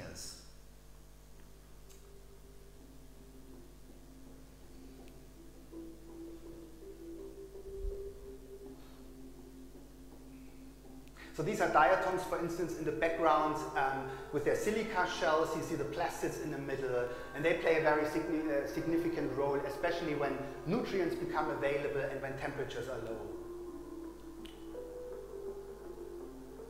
Yeah, and we looked at 11 sites from the Arctic, uh, five from the Arctic, and six from the, um, from the Atlantic.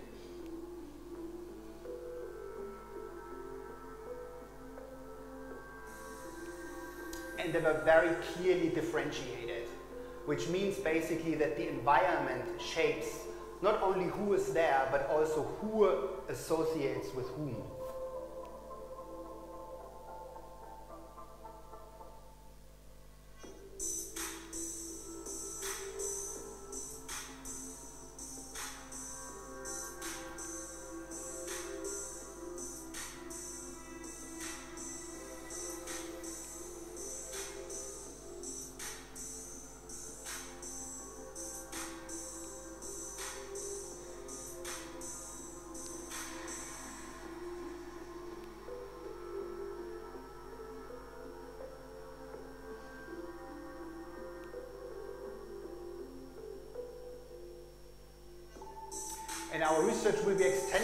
By using this icebreaker, the German icebreaker, um, in order to go to uh, the polar ecosystems and um, get more ideas about, um, about these uh, microbiomes. So um, with that, um, I'd like to give you some more um, insights into the study because it was the first of this kind. Um, these are the stations um, the video was uh, showing. So we had these Arctic polar stations and then here are some uh, tropical and subtropical stations. This is just how the metagenomes look like. And most of the reads came from bacteria, but then we also had a lot of um, reads from eukaryotes, which was expected because we were targeting the chlorophyll A maximum layer in the surface ocean, which can be between 10 and let's say 100 meter depth. And then what Anthony um, uh, did, he was starting a binning project uh, yeah, a binning of all these um, sequences. In red, you see the uh, tropical and subtropical stations, and in blue and turquoise, you see the polar stations. And if you do the spinning, uh, then you reduce the data set significantly because not all of the reads that really are, um, uh, can be used in order to reconstruct these metagenome assembled genomes. But we ended up with um, a significant number of these MAGs for prokaryotes and for eukaryotes. Uh, and this shows you a little bit, um, a little bit of the eukaryotic um, uh, genomic diversity based on metagenomes. You see a phylogenetic tree with a lot of reference genomes here. Um, uh, but everything that has these tags here, uh, red and blue, these are our newly assembled metagenome assembled genomes from phytoplankton um, taxa. And um, you see here, in, so those with a red color, they come from the warm part of the Atlantic, and those with blue color, they come from the Arctic. And you see that we could um, assemble some uh, um, um, algal MAGs on one hand, and here on the other hand, we found also a lot of um, diatom algal mats, but many more from the Arctic, as seen here in blue, than the uh, non-polar surface waters of the Atlantic Ocean. So this gives you some idea what you can do uh, based on metagenomes in order to get genomic information of um, algal species for which no cultures exist in any, uh, in any um, uh, um, culture um, facilities. So and these are the prokaryotic MACs. They are much easier to assemble because um, they, they, they, uh, they are usually not polyploids uh, and the genomes are much smaller, as you know. And uh, we found many Bacteroidetes, for instance, um, uh, also archaea, gamma proteobacteria, and um, alpha proteobacteria. And you can use now these, these, these genomic resources in order to mine for genes we're interested in. And this is what we did. Um, we looked, um, my group is very much interested in um, exploring and developing the CRISPR-Cas technology for making it available to the algal um, community. And um, most of the Cas enzymes um, everyone is using come from Streptomyces um, species, pyrogens for instance, and we want to increase the number of Cas enzymes available for genome editing. And this heat map here uh, on top shows you uh, some retrieved Cas um, uh, genes from um, our um, uh, metagenomes. Um, so these are just the Cas genes from metagenomes without association to uh, metagenome assembled genomes. But here at the bottom you see that you can also retrieve um, Cas operons, which is very nice because then you have the genomic context. And in this case, we found um, an operon that even included the CRISPR repeats. And this helps us then to find PEM regions in order really to make use of these novel Cas enzymes in any uh, biotechnological um, applications uh, you want to develop for your, for your uh, species of interest. Um, so we used um, the coverage of these um, sequences, and this is here given in a million reads, uh, to identify also, um, again, who co-occurs with whom uh, as part of the concept, as part of the microbiome concept. So you can not only do this for individual genes, you identify by either amplification of um, uh, target genes, taxonomic marker genes, or these metatranscriptomes. You can also do this by looking at the max and see which one is co-occurring with which one across the entire global ocean. And we did this for the Atlantic. Here on top you see the prokaryotes and the abundance I've listed. We have listed some uh, prokaryotic max here on the left. Um, um, for the um, polar, for the Arctic, and on the right, these max um, have been retrieved from the warmer Atlantic surface waters. And what you see is that most of these MACs are really um, constrained to either the Arctic or the warm um, Atlantic surface ocean. Some are in both um, ecosystems, like this um, species, for instance, we have evidence that is um, was found in the Arctic as well as in the um, warmer surf, uh, surface ocean. And then we looked, by looking at the coverage and looking at the similarity of coverage, then we identified co-occurring species between, and we were very much interested in, uh, in uh, finding uh, co-occurrences between um, algae and um, prokaryotes. They represent the microbiomes of the surface ocean. And here in the lower part you have the algae, the eukaryotes, and wherever you see it, wherever you see this yellow um, color, this means co-occurrences have been found, and they were highlighted with the um, dark circles, for instance. Um, you can find here uh, a MAC that has a dark circle and in here, so this means that these species, they show co-occurrence patterns across latitudinal gradients. And this is um, then what we um, uh, what we showed in the paper, where you see it, this is an example of three co-occurrences, and this is um, with Erythrobacter, therefore they uh, form co-occurrences across um, several stations indicated by the um, uh, clear correlation in their relative normalized abundance of reads. And then what we also did, we tried to identify if there is shared metabolism. And this was a little bit more difficult because we need to have a control set you cannot just look at the metabolism you identified in these co-occurring um, uh, species associations. Um, you need a control for this. And what we did is we uh, looked at um, uh, the same taxa but for which we did not have any evidence that they co-occurred over several stations. And this information was then used uh, together to identify metabolism that was enriched in these co-occurring taxa. And here you see specific molecular functions based on uh, Go enrichment exercise. And uh, just to summarize all these diverse functions, here you have a cellular component. And what is very encouraging, we found um, uh, metabolic processes enriched uh, that were related to Golgi membrane uh, for the uh, eukaryotes and for the prokaryote to the outer membrane. And you can imagine if you have species are really tightly co-occurring and who, um, who exchange metabolites, processes, membrane-associated processes are very important for, um, for establishing these associations in the surface ocean. So the conclusion of, for the first part of my talk is that yes, we can use ocean metagenome surveys, and ours uh, was called Sea of Change. Uh, more well known is Tara Oceans, and maybe some of you know uh, uh, this metagenome um, survey that has been done over the last about 15 years.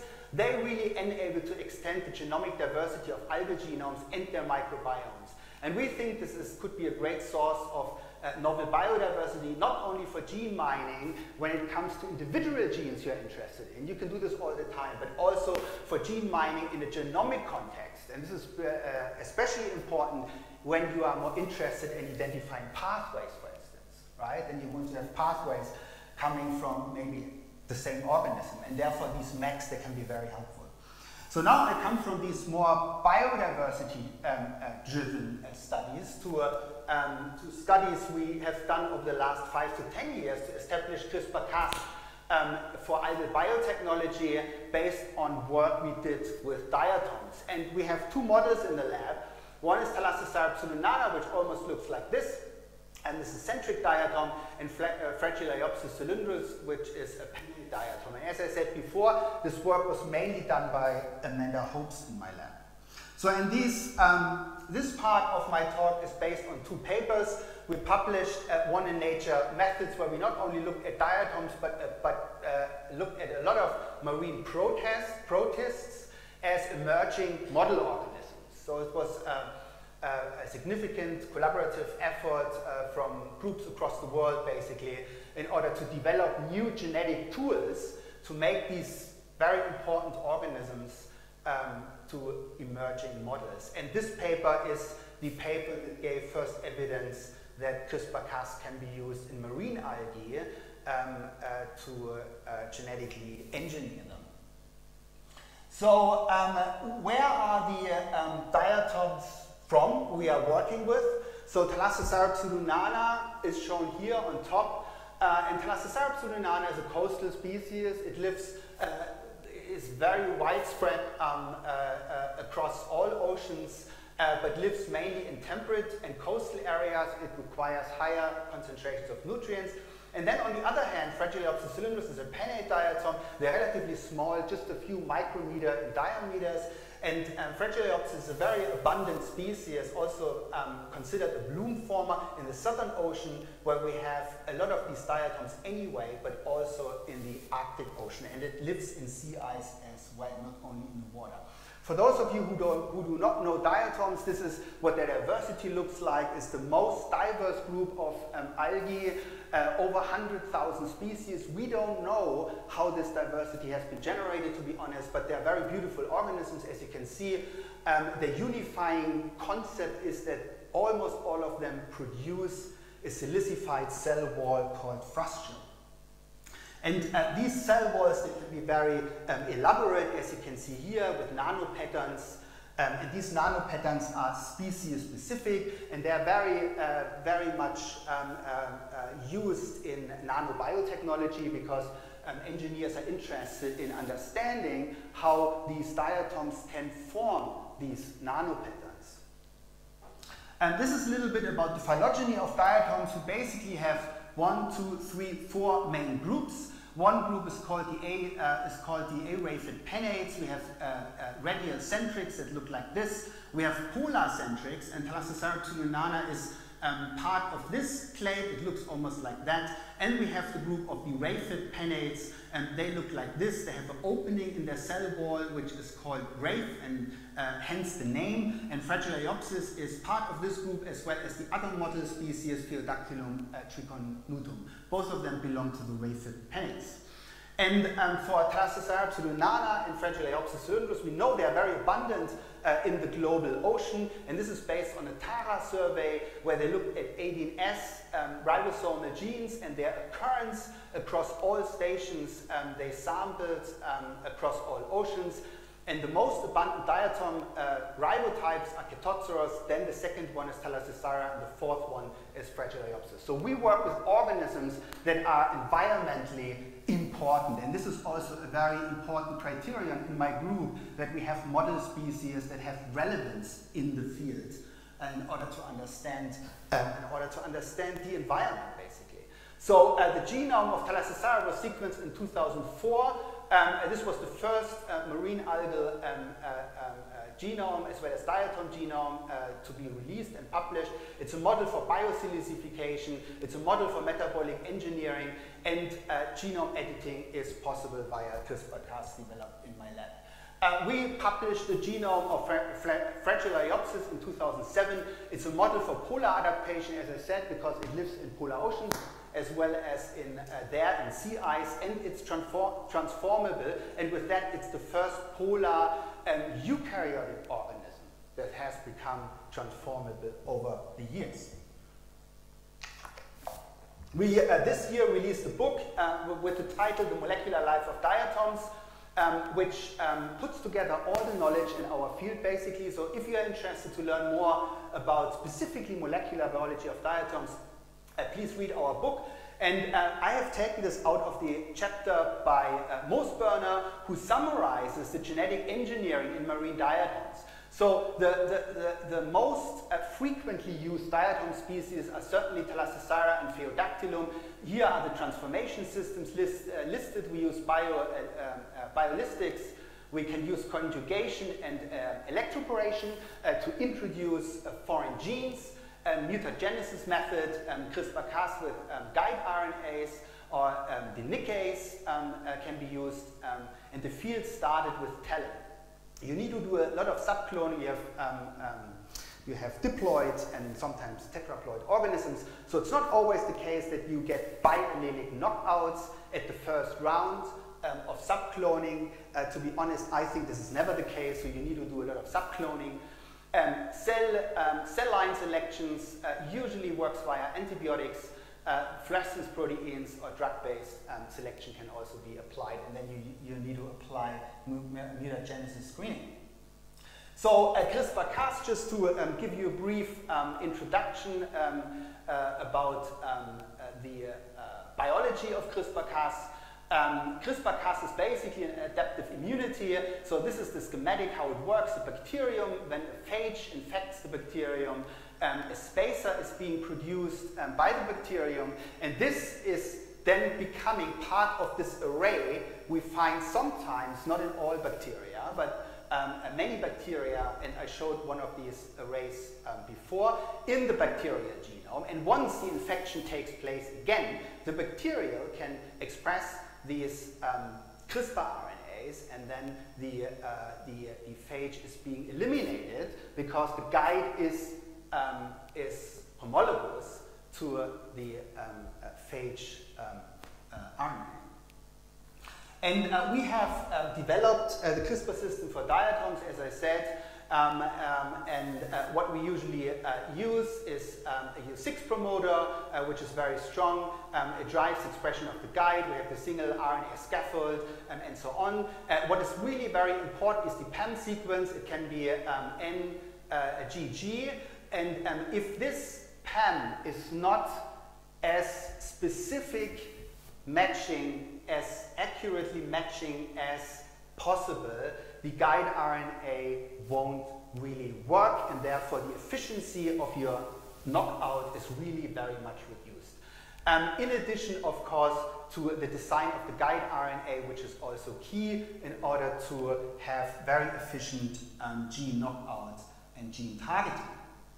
We in our lab use the Golden, uh, Golden, Gate cloning system in order to assemble the constructs for CRISPR-Cas. Uh, it works very well uh, in, in our lab. We have a different selection of promoters, UTRs, uh, signal peptides, um, open reading frames and terminators, and you have different levels, level 0, level 1, and level 2. The last level really uh, represents the uh, complete um, construct then to be uh, used for genetic transformation. And in my lab, we use uh, biolistics most of the time, but also um, RNPs. And this is how um, the uh, um, urease gene, so the, the CRISPR-Cas construct for the urease gene was assembled by uh, Amanda Hobbs for Thalassocerat pseudonana. I don't want to show all the details, but again, we have level two um, um, uh, uh, components, and all these will be assembled to the final construct, which um, uh, in, includes the Cas9, um, and the U6 promoter, and so on, and the guide RNA. And these are some results from the original paper um, on the efficiency and robustness of gene deletion uh, using CRISPR-Cas and the Golden Gate system. So what we usually do uh, uh, use is instead of one guide, we use two guides. Because when you use two guides, you can generate a very nice and clear deletion you can see on, on gels as well.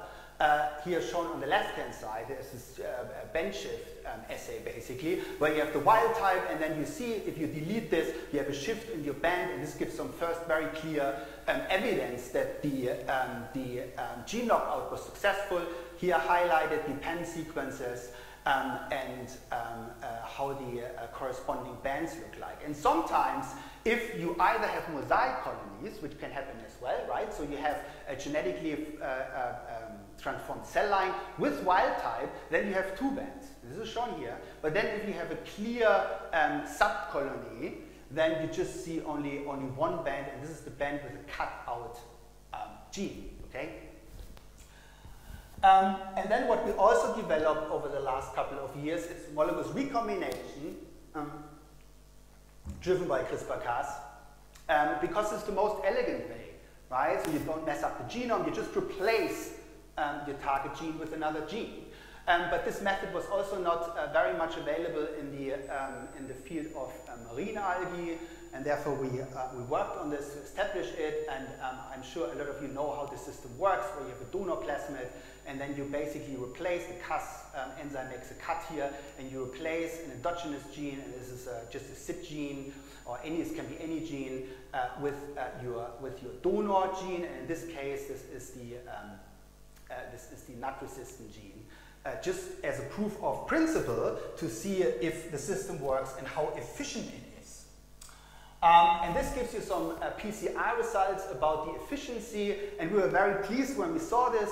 Um, so here we have a letter, and here you have about 21 cell lines we have generated with this um, approach, and about 17 or 18 of, of them for two different genes nitrate reductase, and this is a psilocybin gene, which is part of the um, cell wall um, of the uh, of pseudonana. About 17 out of 21 uh, proved to be positive in terms of homologous recombination, which was very, very encouraging. And um, if we knock out the psilocybin gene, which is involved in making the cell walls, we also get a very interesting phenotype. Um, and the phenotype is that the valves, so a part of the cell wall, is just enlarging. We don't know really what the mechanism is of this gene uh, yet, but we, as based on these data, we can say it must be involved somehow in the regulation of the size of the cell wall of these diatoms, which is a very fundamental trait if you think of carbon sequestration, food webs, and so on. And on the right-hand side, D and um, E and F, this is just um, some wild-type cells. Um, and uh, to be honest, if we look at the efficiency, I think um, uh, to do homologous recombination in T. pseudonana has, has an efficiency of up to 85%. And if you look at this, you are on par with Physcomitrella and with um, right? So I think this is very encouraging for at least the diatom community or anyone who works who wants to work with um, diatoms. Uh, cylindrus, um, as I said, this was um, 2020, we managed to transform the species, which is a psychrophile. Um, just here you see the expression of um, uh, uh, GFP, this is chlorophyll fluorescence, these are three cells So we managed to um, get this done, which was also very challenging um, uh, over the years because it grows very slowly in the lab.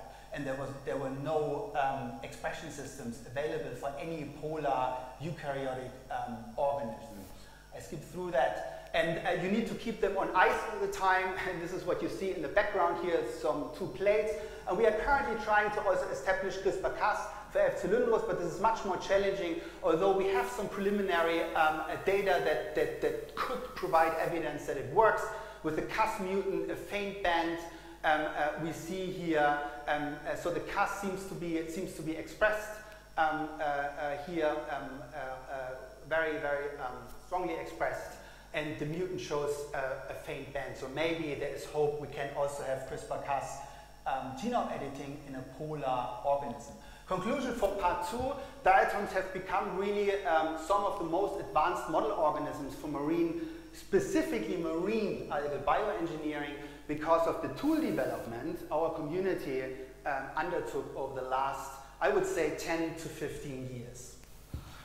So my last, the last part of my talk is really um, about helping you if, um, if you are interested in that.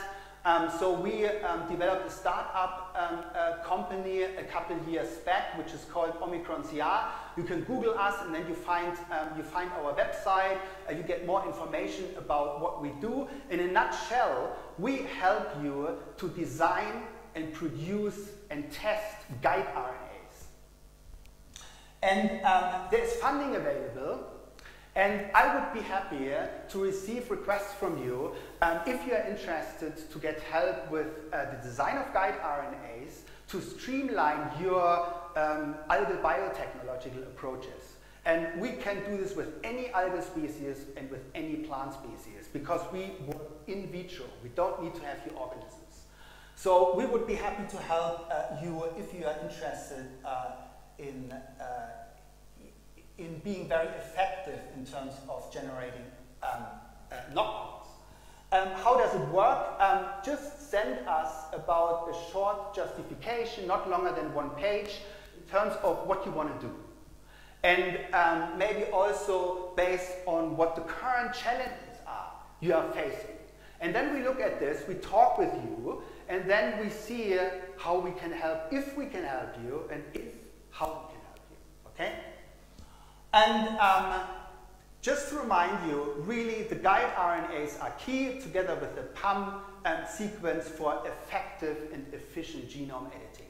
So it's really important to put a lot of effort into designing these single guide RNAs. But what most people um, are not so much aware of is that there, are, there could be a lot of potential issues with designing these guide RNAs. And I bet a lot of you just go to a, um, go to online um, uh, data banks and resources in, uh, uh, in order to get help for designing your guide RNAs. And then you use the output, you design your guide RNAs, and you try to knock out the genes in your organisms.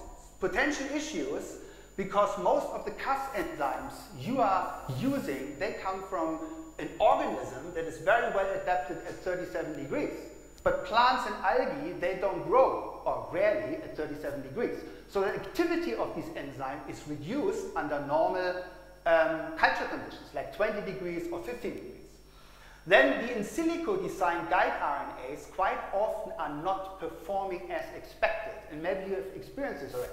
You needed to, to design not only one guide, but maybe 10 guides in order to find, find the one that is really most effective. And then, of course, there are many more issues. I've just listed three here. Either inefficient or biased DNA repair, which could be mainly some organisms mainly repair via homologous um, uh, recombination or uh, non-homologous end joining. So um, this is addressing uh, how critical temperature can be for um, uh, optimal genome. And here we have the conventional Cas9 enzyme, and uh, we tested how effective, um, just with our Omicron CR assay we developed over the years, we affected we, um, how effective this um, SP-Cas9 really is under different temperatures. And as predicted, very nice cutting efficiency. So this is an uncut um, control, very nice cutting efficiency at 37. 20 is also works well, but then there is a significant drop below 20. So if you cultivate any organisms lower than that, maybe you struggle to get efficient gene knockout. There is another Cas enzyme available, this is Cas12a, that is because of these issues that has been developed um, to enhance activity at lower temperatures. And you see here by applying our assay, it cuts down to almost 4 degrees, but the band is very, very faint. So the efficiency is not really good. So this is addressing temperature issues. Then addressing the issue that there is a discrepancy between in silico designed RNAs and then the biological outcome in vivo. And this is shown here. We tested with our assay, we tested three different guide RNAs. And although all these guide RNAs have received very high scores, we used the Broad Institute algorithm at MIT, they have received very high scores for being a very efficient, only one can be used. So if you as a researcher, a postdoc or PhD student um, go and design your guide RNAs, you see only one out of whatever number is really effective. And this costs money, this costs your time, and we can reduce both if you use our service, because that's the goal. We want to make the selection of guide RNAs as effective and as successful as possible. And this is um, some of our unpublished data where we compare the in silico predicted uh, on target score uh, from the Broad Institute with our in vitro testing uh, we developed over the years. On the, on the y-axis you see the in silico Broad Institute based targets prediction. On the x-axis you see our data. Look at the correlation. There's basically no correlation. Okay? And this gives you a good idea um, that we can help with our service to make your work more successful. So in vitro testing basically is important for for streamlining your genome editing. And this is, this is what we do. So we still use the in silico predictions, but we develop our own algorithm based on in vitro testing. And then hopefully this will help um, to design better guide RNAs and to make the workflow more efficient. And this is very, uh, very preliminary data. I've received the results only yesterday before I um, uh, before I started to, to travel here from um, Andrew Toseland, uh, who does uh, the modeling and model development in my group. You see here a random forest analysis of predicted versus uh, measured um, guide RNA efficiency scores. And this is all done on in vitro testing, right? So we do, um, we screen hundreds of uh, plasmids and see which guide RNAs really cut uh, very well. And those data will then be used in order to uh, develop these models. And so far, um, uh, the models perform relatively well. But this is very early days. We will add many, many more results uh, to make the predictions more, more robust. And then we have a graphical user interface, which we're going to publish also very soon, where you basically add your target gene here, for instance, and your guide RNAs, and then you get an idea based on our in vitro testing how efficient the guide RNAs is. Uh, you can also then at the temperature at which you want to run these experiments, depending on uh, the re requirements of your of the algal or plant species uh, you you work with, and hopefully this will improve then um, uh, the uh, the effectiveness of your of your work and um, of your results. So the conclusion from the third and last part of my talk is that um, hopefully you have um, seen that Omicron CR can help to streamline uh, your algal but equally well planned genome editing uh, by developing new methods for more precise and efficient targeting um, of genomic loci. And uh, we can target any loci. Um, and yeah, and we're happy to help with your work. Uh, check out um, our website uh, to get more insights of what we do and what we, what we can't do, for instance and um, I would be very happy to receive inquiries uh, from you. So last but not least, I like uh, to thank those that really did the work. And uh, most of the um, uh, genetic um, methods I was talking about, they were really developed by her, Amanda Hopes, together with Nigel Belshaw. They also do most of the um, uh, bioinformatics as well as um, in, uh, in uh, silico work in the lab.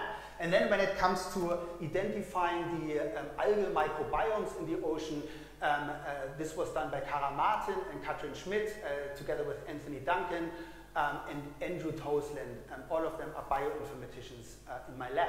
My main international collaborators, you, as you have seen on several slides, uh, is the Joint Genome Institute in the US, and this is Igor Grigoriev, who is leading the algal uh, group um, at JGI. Uh, Carrie uh, and Emily and Simon, they are leading the metagenomics group at JGI. And then, of course, I also collaborate with uh, Kumar, and um, in Germany I have a collaborator, and in China it's Neho Ye on algal genomics. So with that, uh, I thank you for your attention. I'm happy to answer any questions.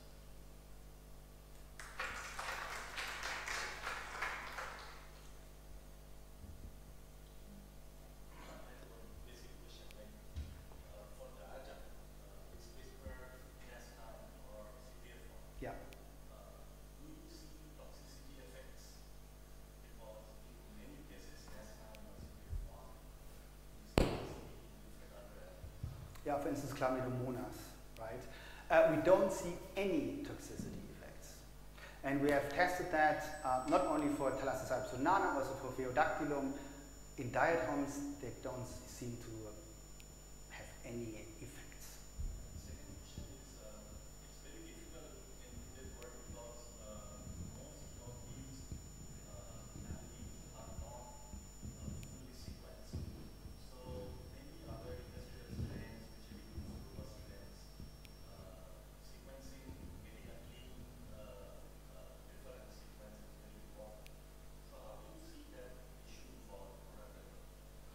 that's a very good question. So, um, uh, at least what I know, uh, most of the product development based on diatom strains is done with either Phaeodactylum triconudum or Thalassocypes solnana, and then of course Nanochloropsis as well.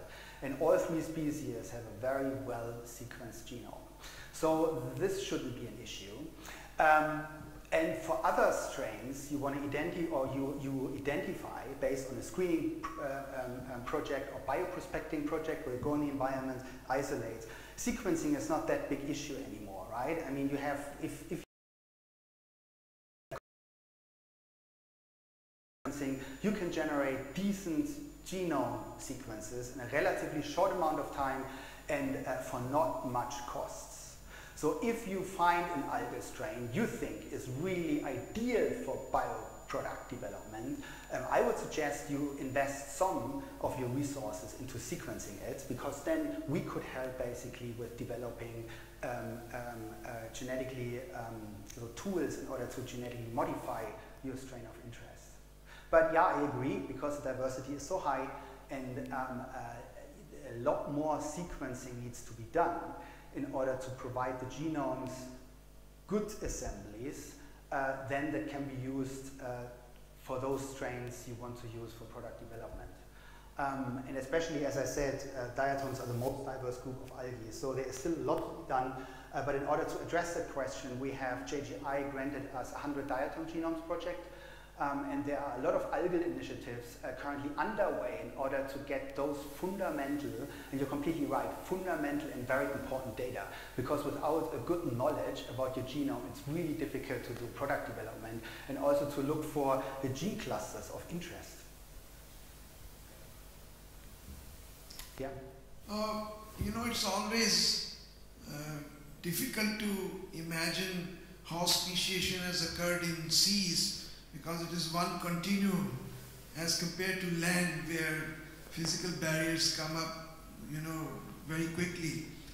But what I want to ask you is, uh, is there a diatom species which is present from cold to warm? Because that will be most interesting to work on as a model uh, because the physical structure has not changed, but Basically, changes have come through metabolic changes, which may be interesting to study the genes which have changed their expression in adapting from warm to cold or from cold to warm. Mm.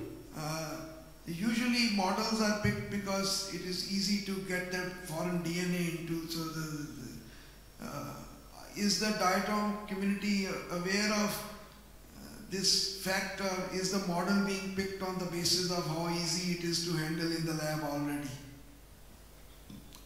Um, so to uh, address the first part of your question, so speciation in diatoms can occur on relatively short time scales. So we have seen this for a lot of species. Um, you have a lot of local adaptations. So you can have a species with, um, with uh, strains that are locally adapted uh, to uh, specific environmental conditions.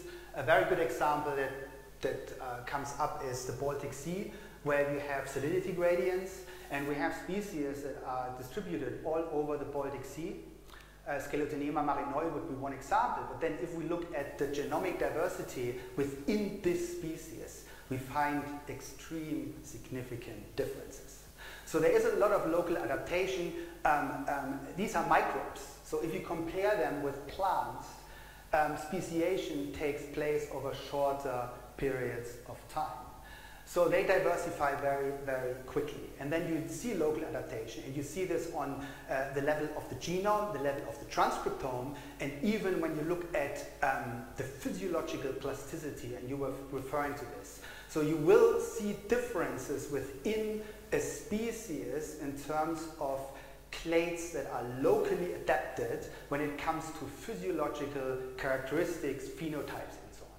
So you really would need to uh, um, I would not guess that there is one strain that occurs across all lati uh, latitudinal zones, with this in mind, all lati uh, latitudinal zones, uh, which, is, which is capable of dealing with all these environmental conditions. You have, you have subclades, and they can, they can deal with specific environmental conditions, and we see this, and they can evolve over relatively short periods of time. I, you know, I, I talk about thousands of years, not millions of years. Um, but all this diversity is out there. It's being generated, as you say, in a fluid environment where you would think the boundaries are fuzzy, but we know that there are boundaries. The boundaries are subtle, but yet they define species boundaries. And, and, and, and one example is in the Southern Ocean. It's maybe the best example because the Southern Ocean has very strong uh, frontal zones separating the Antarctic continent from the rest of the globe. And if you look at these frontal zones, you see speciation taking place within one species complex, according to the zonation of the surface ocean.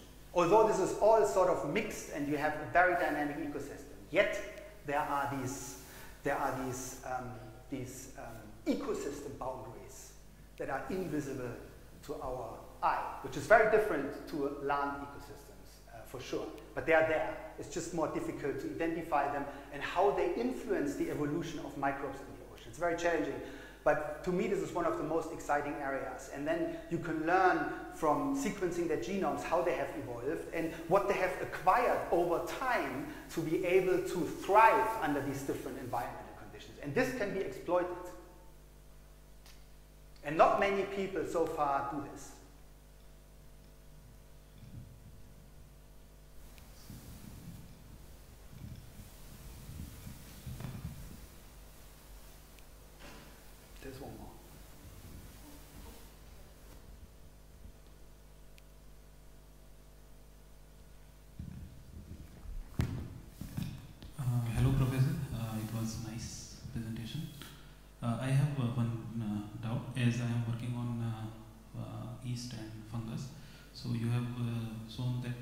Baseline is working on below uh, 20 or 20 degrees centigrade perfectly. And case 12A is working at uh, uh we can say uh, sorry uh, case 9 in 37 and yes. 12 in 20 so as this yeast and fungus is grow well on 28 degree or 30 degrees centigrade oh, so you, can you please suggest which one should I prefer for my experiments I didn't catch the last part of your question so um, your question was related to the different um, types of Cas enzymes, the yeah. Cas12a, CTF1, and then the standard uh, Cas. And you work with yeast, and your question was about which Cas enzyme is most appropriate for for what? Yeast and fungus. Both the organisms grow uh, uh, suitable temperature is 28 or 30 degrees centigrade. Uh, this really depends on at what kind of temperatures your your yeast strains grow. Or yeah. Suppose it is 28 degrees centigrade. So which one? With 28, you can use the the the, the, um, the conventional Cas9. Okay. Strep, Streptomyces pyogenes Cas9, which works pretty well at 28. It also works at 20. But as soon as you go below 20, I would suggest to use CPF1. Thank you. Yeah, then yeah, the cutting is more effective.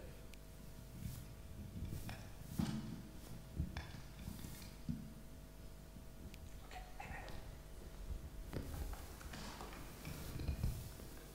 Thank you so much, Professor Mook. That was enlightening about the different Cas9s and yes, the temperatures that they work on. And I really hope that people can uh, benefit from Omicrons here. Now I request Dr. Pawan Malhotra to please uh, present a memento to Dr. Mook.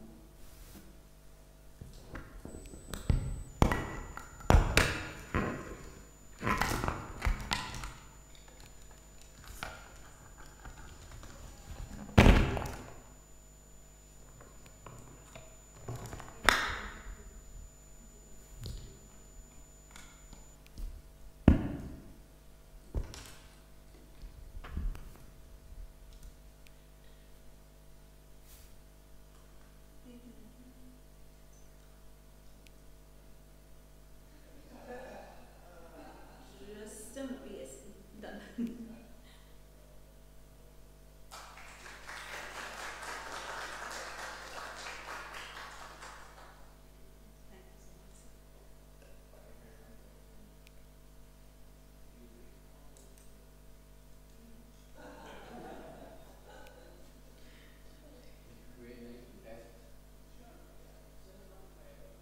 Yeah.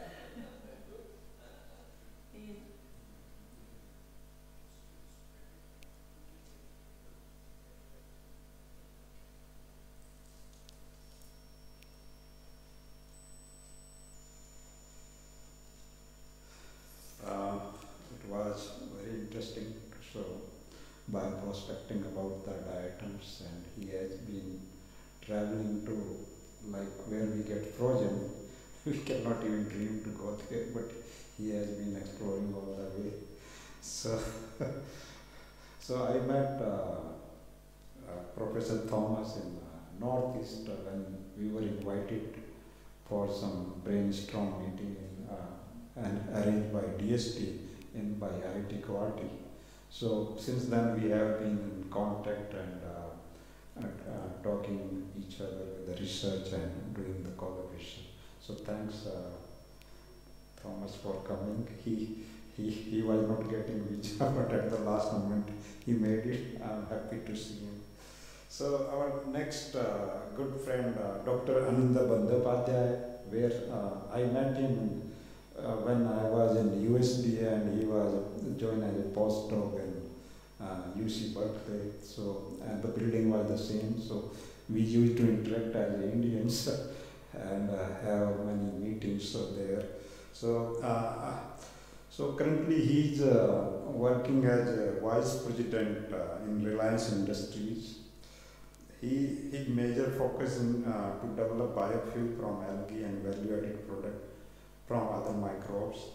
Previously, he has been a group leader of the genome editing program at Syngenta. Also, he has been recruited as an international scientist at IRI, Philippines. So, uh, Dr. Anand uh, uh, completed his PhD from IRI, Philippines, followed by his postdoc at UC Berkeley. And his major interest to apply uh, CRISPR uh, technology for various industrial applications. Let's see how industry people can reveal their uh, data to the public. Welcome.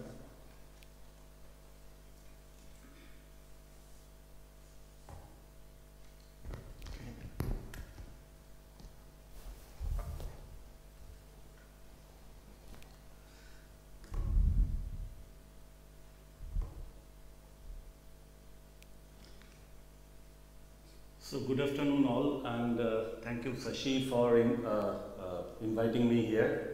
and thank you to ICGB and organizing committee.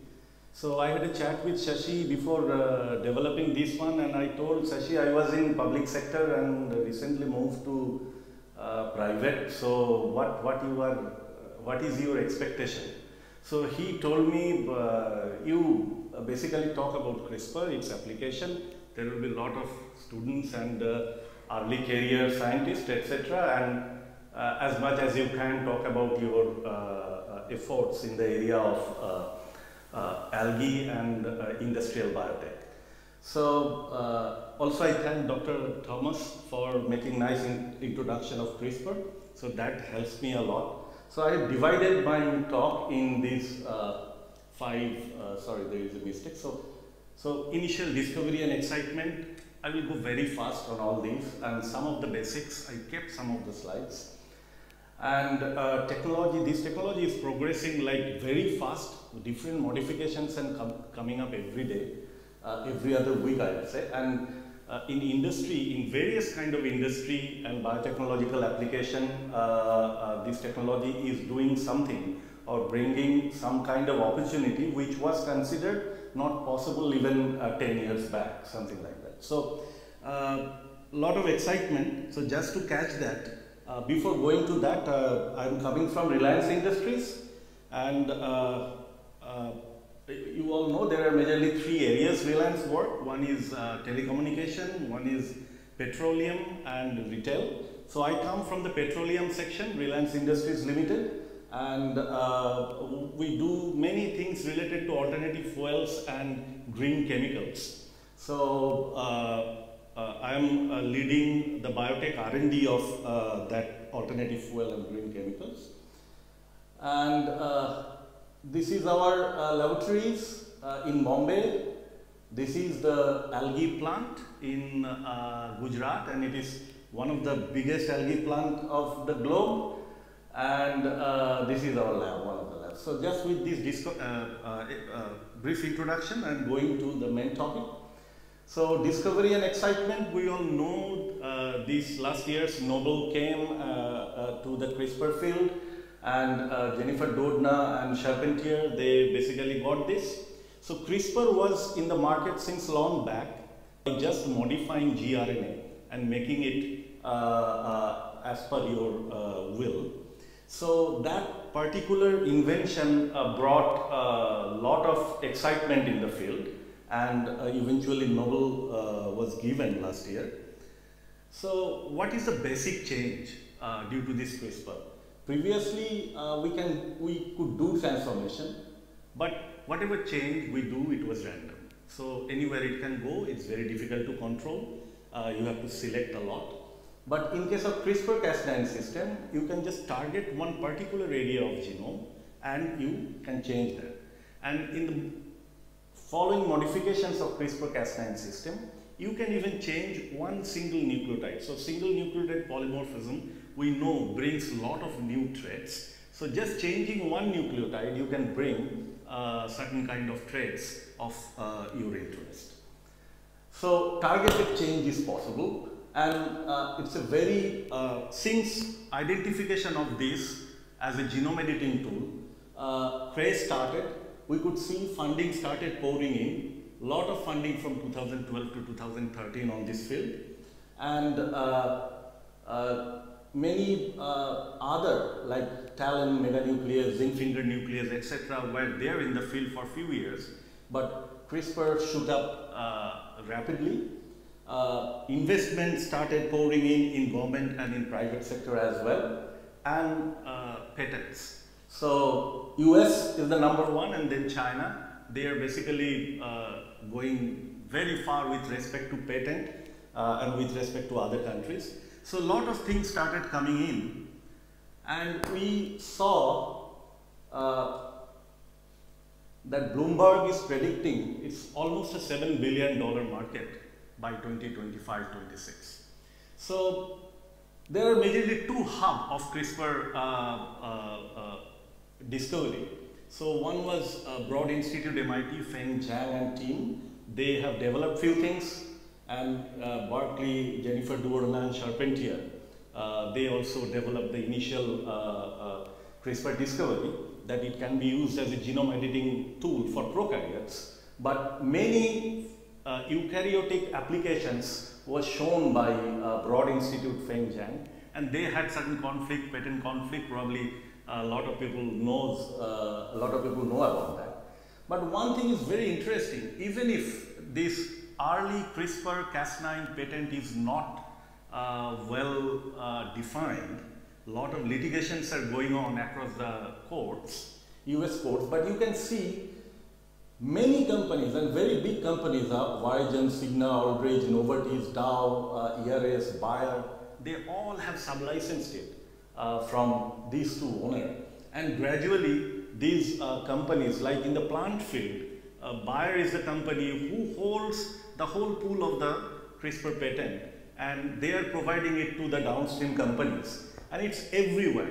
So it looks like it's becoming like a PCR technology. When it came, a lot of things happened, then gradually it, people started using it so much that it became kind of uh, open. Uh, uh, uh protections become very less. So uh, we are hoping that also for CRISPR, uh, considering all these things. Now, Dr. Thomas introduced what is CRISPR. I am not repeating it. I will just tell one important aspect that Danisco is a company in early days who are known for yogurt and cheese making. Uh, they are the one who basically started using uh, Thermophilus strain, choose it swift, uh, for its pizza making and uh, cheese making uh, pizza, uh, cheese making kind of products. Later on, it was found the strains they were selecting, they, they are basically fudge resistance. And gradually people started to know why they are fudge resistant because they have CRISPR errors. And then further modification came up. So whoever has eaten a yogurt from a shelf of any uh, uh, shopping mall, we all have eaten plenty of CRISPRs already last 20 years. So uh, consumption, uh, so I like to tell this, like last 20 years, uh, we are eating CRISPR without any uh, uh, issue. But we, get, we got to know that recently. But anyway, so from here, if you see, there are majorly two classes of CRISPR in the field. So class 1 and class 2. So class 1 has many nucleases together. So CRISPR is simple, one gRNA and one protein. So the class 1 proteins are uh, with subunits and multi, multiple protein system, but whereas class 2s are basically single protein systems, so Cas9 and CPF1. So mostly people are working uh, in this area because it's easy to handle, although some activities are going on here, but it's much easy to handle in class 2. So CRISPR-Cas9 and CRISPR-CPF1 most commonly use two CRISPR systems, both are from the class 2. So what it does, it's very simple, uh, one Cas9, one gRNA, you hook them together, gRNA will take the Cas9 to a particular site, you can choose this site by designing this gRNA and then Cas9 will cut, there will be double strand break and cell will repair it. While repairing it, it will generate mutations. And if you use multiple gRNAs, then you can target multiple genes in one shot. So uh, multiplexing can be done very easily. And also you can, you can supply outside, uh, uh, outside gene with, or a portion of gene with homology arm, it can do homology directed repair and it's allele swapping, these kind of things are coming up.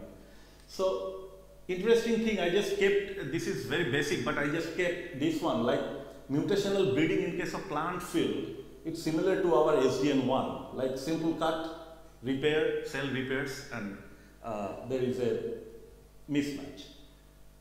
Some portion uh, swapping is possible. Its breeding equivalent is like uh, uh, uh marker assisted backcross breeding type of trait you can develop. So many such traits which I have enlisted here can be done by CRISPR-Cas9 in a much faster way. So these are the why I kept these two, these are two basics, but these are the two CRISPR systems recently in India have been identified as will not come under GMO regulations. So uh, Dr. Pentel is here, he will be able to probably describe better, but it's very hopeful uh, situation for uh, people in India and we are in the algae industry or uh, industrial people, we are also looking forward to it. If plant system SDN1 and SDN2 is considered as non-GMO, then definitely similar thing might come up for our uh, organism as well.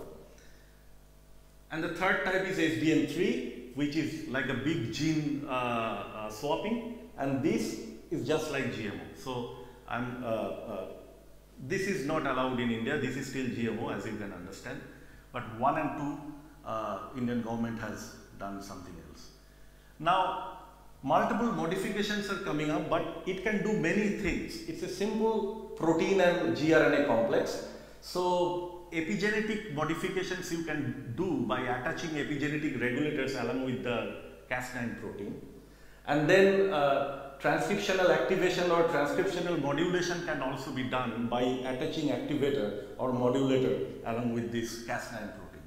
So, uh, in nutshell, it, it brings lot of uh, uh, different possibilities for molecular activities like gene repression, gene activation, tagging, purification, image, imaging genomic loci, genome-wide screening. You can do single cut in one of the strand. You can do nickase is available, modified Cas9, and then gene knockout as we all were talking. So CRISPR in nutshell gives is a simple tool, cheap, but it can do many things in molecular world.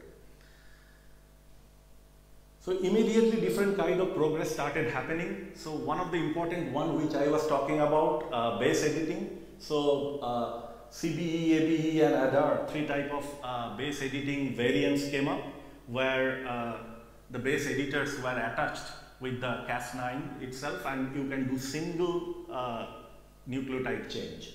So uh, single nucleotide polymorphism was can be changed by this technology Similarly, CRISPR X came up where uh, people use MS2 trap system. Uh, it, they hook this MS2 trap with the gRNA. So you can do multiple base editing in a tunable window in one shot. So CRISPR X, uh, many industries are using it. I personally know uh, from my previous experience. Similarly, CRISPR and Retron, uh, especially for the plant community, what happens uh, integration or transformation is a little bit difficult. You cannot just micro inject and do it. Lot of complexity, cell wall is there, etc., etc. So this crispy retron is becoming gradually becoming very popular. While retrons are natural DNA elements coding for a reverse transcriptase as well as a template on which the RT acts to create multi-copy single-stranded DNA product. So you just hook this retron with gRNA and gRNA will go, it will take the protein to cut, but gRNA will carry retron in it and inside of the retron you put your gene of interest. So that will be reverse transcribed there and got in. So this crispy retron technology is becoming very popular these days. Similarly, evolve R system, instead you give a cut by CRISPR-Cas9, but instead of waiting long for a plant to repair that, you just attach one uh, uh, polymerase, which is basically error-prone polymerase. So CRISPR-Cas9 enzyme will go on cutting different places, and these polymerase will go on repairing those places, and it will create a lot of mutations while doing it. So many such variations came up, Vir gene mediated ones are also there. I'm not going in very much detail. And also uh, this one uh, DNA transposon uh, attached CRISPRs are also there. Uh, and uh, prime editing came up recently, which is now uh, quite popular. Instead of gRNA, you, uh, you put PEG RNAs, where in the PEG RNA you have your edit templates, you have RT, it's a modified kind of retron, where you put everything in one gRNA and your gene of interest, etc. Definitely size uh, problem is there. You cannot put bigger like a before allele or something like that. So, uh, but this is also very uh, good for uh, precise mutations and small indels. And the last modification I would talk about, this is in the bioinformatics field. and mostly happened in the uh, animal or human field where algorithms are there who can predict after DNA cut what kind of repair cell will do. So this is awesome, but it's not present in uh, this algorithm doesn't work for plant or uh, algae yet. Hopefully it will come up. So one forecast sprout or in Delphi, these softwares are used where uh, you design an experiment, you design a gRNA, you know where that gRNA will cut. But after cutting, what kind of repair cell will do, it can tell you, it can predict. So this was developed by uh, accumulating like thousands of data related to uh, this editing in human cell lines, different human cell lines, and then this algorithm was made. So more modifications are coming up in these areas. So I'm not uh, going in detail on those. So delivery is still a problem, uh, especially for plant and algae. We face this. Uh, now the uh, agrobacterium or bioelastic still in the algae field, bioelastic is the one uh, working little better with respect to other tools. And for plant, uh, everything uh, works well, but still there are uh, certain uh, problems which has been seen. Some of these reca recalcitrant lines, especially we can transform rice like anything. So many protocols are there, but some of the recalcitrant rice lines, which are elite lines, is very difficult to transform. So these kind of problems, uh, people are uh, uh, using nanomaterial, where nanomaterial carrying DNA and gRNA, and it is getting in uh, in a passive way, and it can transfer. Uh, so these kind of uh, areas people are working. Whereas it is easier in case of human cell lines, injecting is possible, and many applications. So this tool got many applications in the area of therapeutics, biological research, AG biotech, industrial biotech, etc. So I am not going in detail, uh, just briefly uh, different cancer model, cancer therapies, immuno T cell therapies, human trial in China on some PD-1 gene related to cancer is already going on. Uh, uh, in vitro gametogenesis, gene knockout to uh, stop miscarriage uh, in Francis Crick Institute, these are in pipeline. Sickle cell disease, some of these genetic disease can be uh, which uh, where the cause of disease is the mismatch or indels or whatever can be rectified.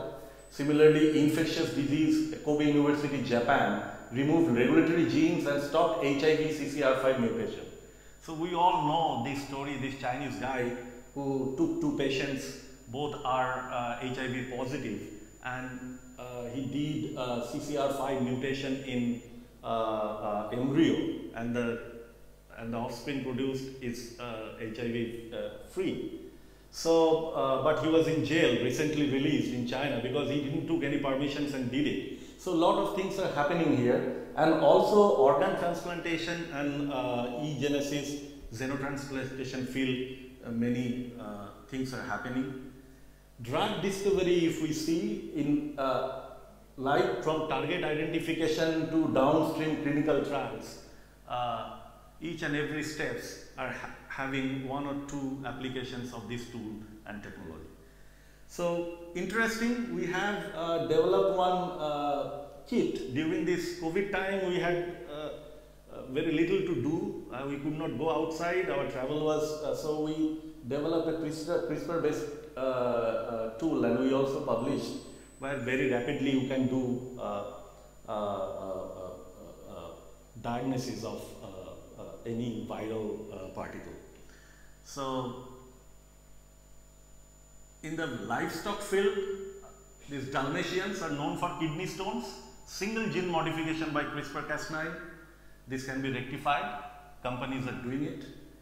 Faster horse breed, there are companies which, uh, uh, uh, Argentinian company which came up with this breed, still not approved. Healthier fish, salmon we know, a uh, lot of work is happening there. And dehorning of the cow by again single gene knockout. Uh, people are uh, getting dehorned cow because it's a big problem. They fight each other, they kill each other, so etc.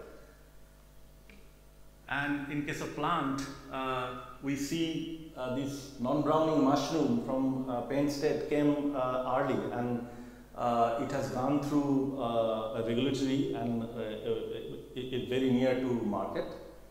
Uh, Hoff free beer, it's, it's a big project. The previous company I used to work, we used to have this project where hops are very difficult to grow and it requires a lot of water. So you can just change one gene in Saccharomyces cerevisiae and you can create that Hoff-like flavor in the beer. So a lot of beer companies used to fund us for that activities. Spicy tomato, decaffeinated coffee, waxy corn, gluten-free wheat, etc. So I just kept these four or five slides uh, just to uh, uh, give an overview, like how this CRISPR is basically bringing opportunities to different field and different industries, uh, be it pharma, be it uh, uh, livestock field, be it agriculture, etc. Now, okay. Sorry. Now in industrial biotech, uh, what we do, uh, many companies are doing it, is, it is very important. And a petroleum company, a big company like us, we also know that fossil fuel is limited and we cannot exploit that throughout uh, like many many years. It's, it's limited resource. Number two globally uh, cutting down uh, co2 emission methane emission is very important. And uh, what uh, we, we also want to produce all these petroleum related chemicals we tell pet petchems be it tire producing chemicals be it MEG be it styrene etc that uh, we could produce in bacterial route or we could produce through algae uh, by applying certain kind of technologies. But the problem is pathway or flux towards one particular chemical, modifying that flux and basically stopping the competitive flux is very difficult with existing technologies. RNAi and other traditional uh, genome, uh, genome modification technologies are not enough. So since uh, this CRISPR technology came up in the market, we started feeling interested. Organism selection, we have selected organism, we know what kind of organism we need. Then organism development, that part, then process, then scale up. This organism development part is very important where we basically, sorry, Uh, Uh, basically do genome editing and uh, two type either CRISPR mediated uh, uh, uh, just knockout or CRISPR mediated modulation of expression. So that we can test the engineered strain and we can develop engineered strain and that engineered strain has perfect flux for one particular chemical. And that then goes for scale up. So uh, many such chemicals, these are all well known. These chemicals already are produced in bacteria and uh, uh, so now comes to the photosynthetic uh, organism algae. So what we do in algae so we know bio, biorefinery by multi-omics, different kind of things could be produced like biochemicals, biofuel, lipid, biogas, etc. But definitely there are some drawbacks in microalgae. So some of the robust strains, because end of the day either we have to grow in reactors. Now if we grow algae in reactors, cost shoot up and there are different type of engineering issues with reactors. So we want to put them in a large pond and we want to grow them there and gradually that uh, uh, has to face all kind of weather, right? Pond cannot be covered. Like we are talking about 2000 uh, square meter ponds, multiple 2000 square meter ponds. So uh, we need to have a robust strain. So far, the robust strains are known in the field or known with us as well, are very difficult to transform. So like chlamydomonas or diatoms or other where you can transform, but some of the nanochloropsis, which are considered as one of the very popular, robust strain for industrial development, uh, it's very difficult to transform CRISPR-Cas9 or CPF1. Toxicity and different other uh, problem comes. which we want to solve. And uh, different small molecules we want to produce, like cosmetic precursors. So uh, I will show this picture, then this will help better. So this is the pond uh, we operate. So these are small ponds and these are multi, multiple big ponds. And this is little old picture. Here we also have like tw 20, uh, uh, much bigger ponds as I was talking about. Now all these get controlled from here. These are like what kind of uh, uh, flow rate is needed, what kind of uh, what kind of nutrients needs to be given. Water, we bring water from sea, from Gujarat coast, and we filter it, and then we put it there.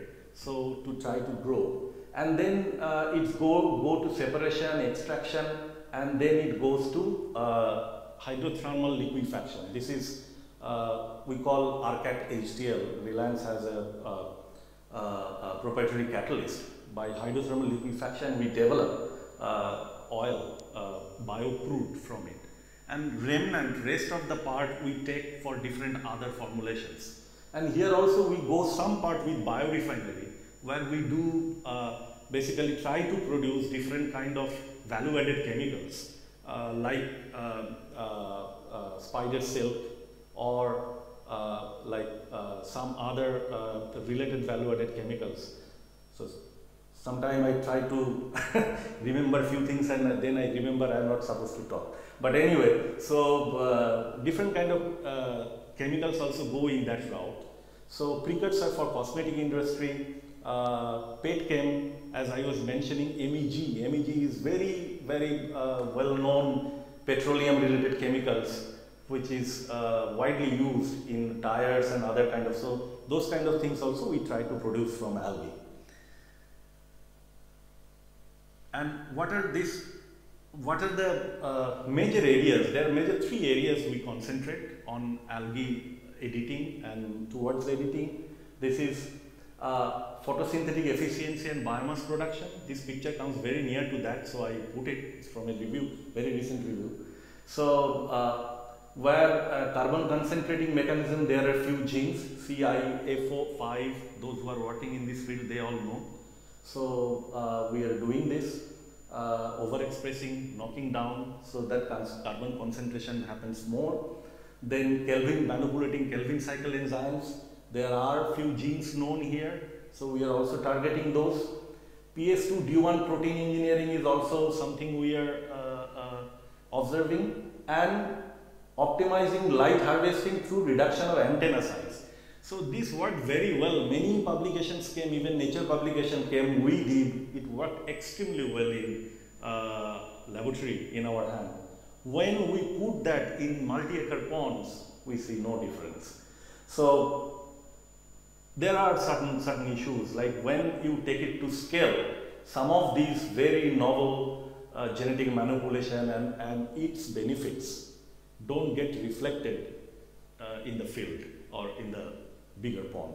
So this is very well uh, characterized and discussed uh, uh, modification, but I also talked with some other algae company in US uh, this is the same issue we see in some of these. So second, in case of value-added product, so definitely you can understand it, efficient promoters and enhancer elements are very important and very key. Uh, so, uh, and then pathway construction and then pathway regulation strategies. So as I was mentioning that you have to shut down some of the competing genes and you have to basically induce that flask which will lead to your target product. So this one uh, we are uh, doing, uh, we are designing in, uh, in Chlamydomonas. We check it in Chlamydomonas, then try to put it in our industrial strain. So how it works there. Also we are side by side keeping bacteria. So, uh, uh, so then in case of lipid, so majorly three value-added product, enhancement of lipid, photo photosynthesis enhancement. These are the three major area. uh, all people are working across the globe, those who are in this field, uh, so that uh, more lipid could be produced, more oil could be extracted, and value-added product could be generated from algal uh, uh, system. So these are the areas we work and uh, I'm not going in detail of time is not there. So detail of each and every gene we worked so far and again the basic uh, transformation is still CRISPR-Cas9 mediated transformation for algae is still bioelastic. We want to move out from that because a lot of issues are there and uh, also we need much smaller uh, nucleases. So there is a company in Netherlands, uh, Hudson River Biotechnology. They have come up with a smaller uh, nuclease uh, and they are doing nanomaterial mediated uh, transfer of their target target CRISPR tools. So we are also collaborating with them and we are trying to basically solve these problems of uh, toxicity, number one, size, number two, and third, uh, the cargo delivery. So this is how we are uh, working in the area of uh, algae. Uh, this is some of the published papers. I'm not going in that. I talked about patent conflicts. This group from Berkeley and uh, Broad. It's still not solved. And the last slide, uh, last but one, ethics. So I was talking about this scientist, the Chinese scientist, who basically CCR5 knocked out CCR5 gene in embryo and uh, uh, went in jail. What, what was seen for his case, everything was fine. The kid is fine, kid is very nice, doing everything well, but the brain is little enlarged. Nobody knows whether the CRISPR knockout is the reason or anything else is the reason, but uh, it's still too early to do embryonic change in human by CRISPR. This is, uh, and I, last two years I was in China, uh, this is becoming very, very uh, like a craze, like making these small pigs so that you can take it in your handbag. So we Chinese women, they like small handbag and a small pig in the handbag as a pet. So there is a company which is making it by genome editing. And initially it started coming out in the market and uh, then government stopped it. So why it is needed, like why you are going to generate a completely different uh, animal out of animal anyway. So definitely biohazards, etc. These are the areas we have to be careful. And for industry, which I see, uh, these are the major steps where this toolbox for CRISPR, different kind of protein, Cas9, Cas12, Cas13, 14, Cas8 I was talking about, Cas-Y, these will come up globally, different lab, different uh, organizations, private, public, they are doing. CRISPR is gradually becoming engineering platform for the industry. It is also true for bacteria and downstream fermentation based companies as well as companies like us where we are using algae. Similarly, there are issues. What are the major issues in this field?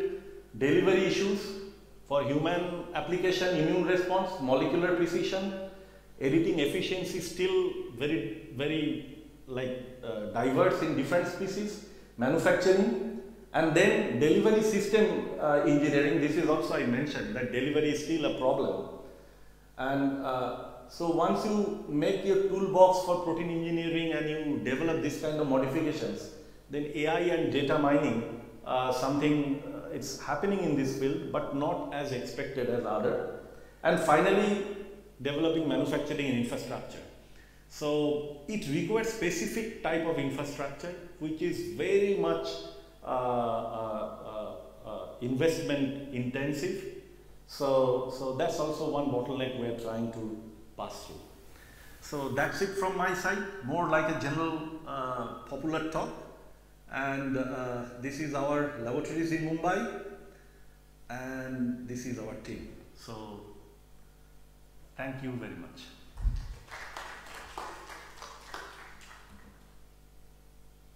Any question?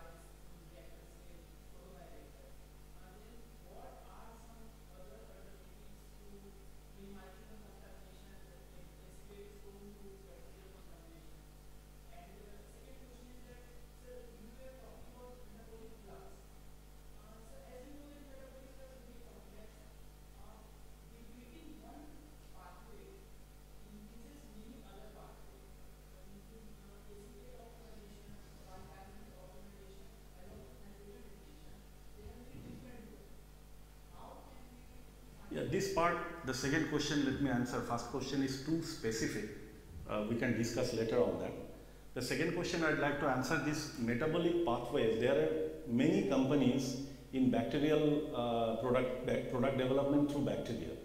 And there are even very successful companies in US called LanzaTech who are producing uh, through bacterial uh, chassis.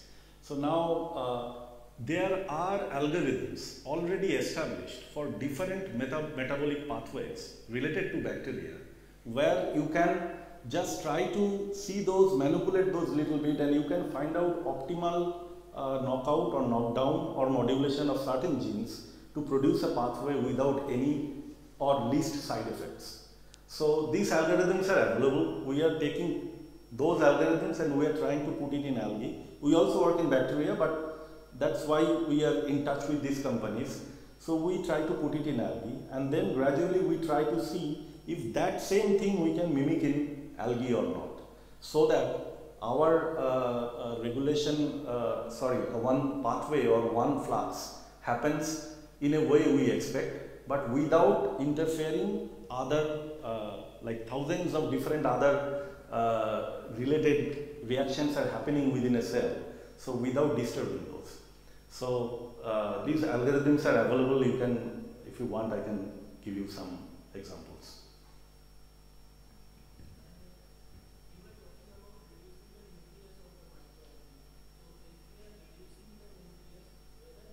No, no, no, no. I am. I, I talked about nuclease. The enzyme CRISPR-Cas9. Cas9 is a nuclease. So that enzyme is quite bigger with respect to uh, some of the algal strain which are widely used for uh, industrial purpose and they have toxicity effects. So these two smaller size and less toxic are very important for algae community. It's not so uh, like CRISPR-Cas9, CRISPR-CPF1 people widely use in plant, right? So all kind of plants it works. Either either or uh, you can use. But in case of algae, there are certain like Chlamydomonas and others, they work well. But most of the industrial strain we see size is a problem and toxicity is a problem.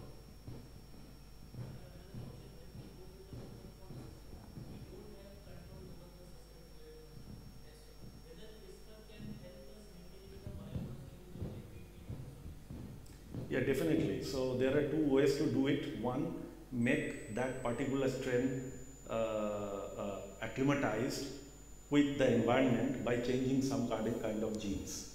So like trial and error, many companies have done and gradually came up with a robust strain.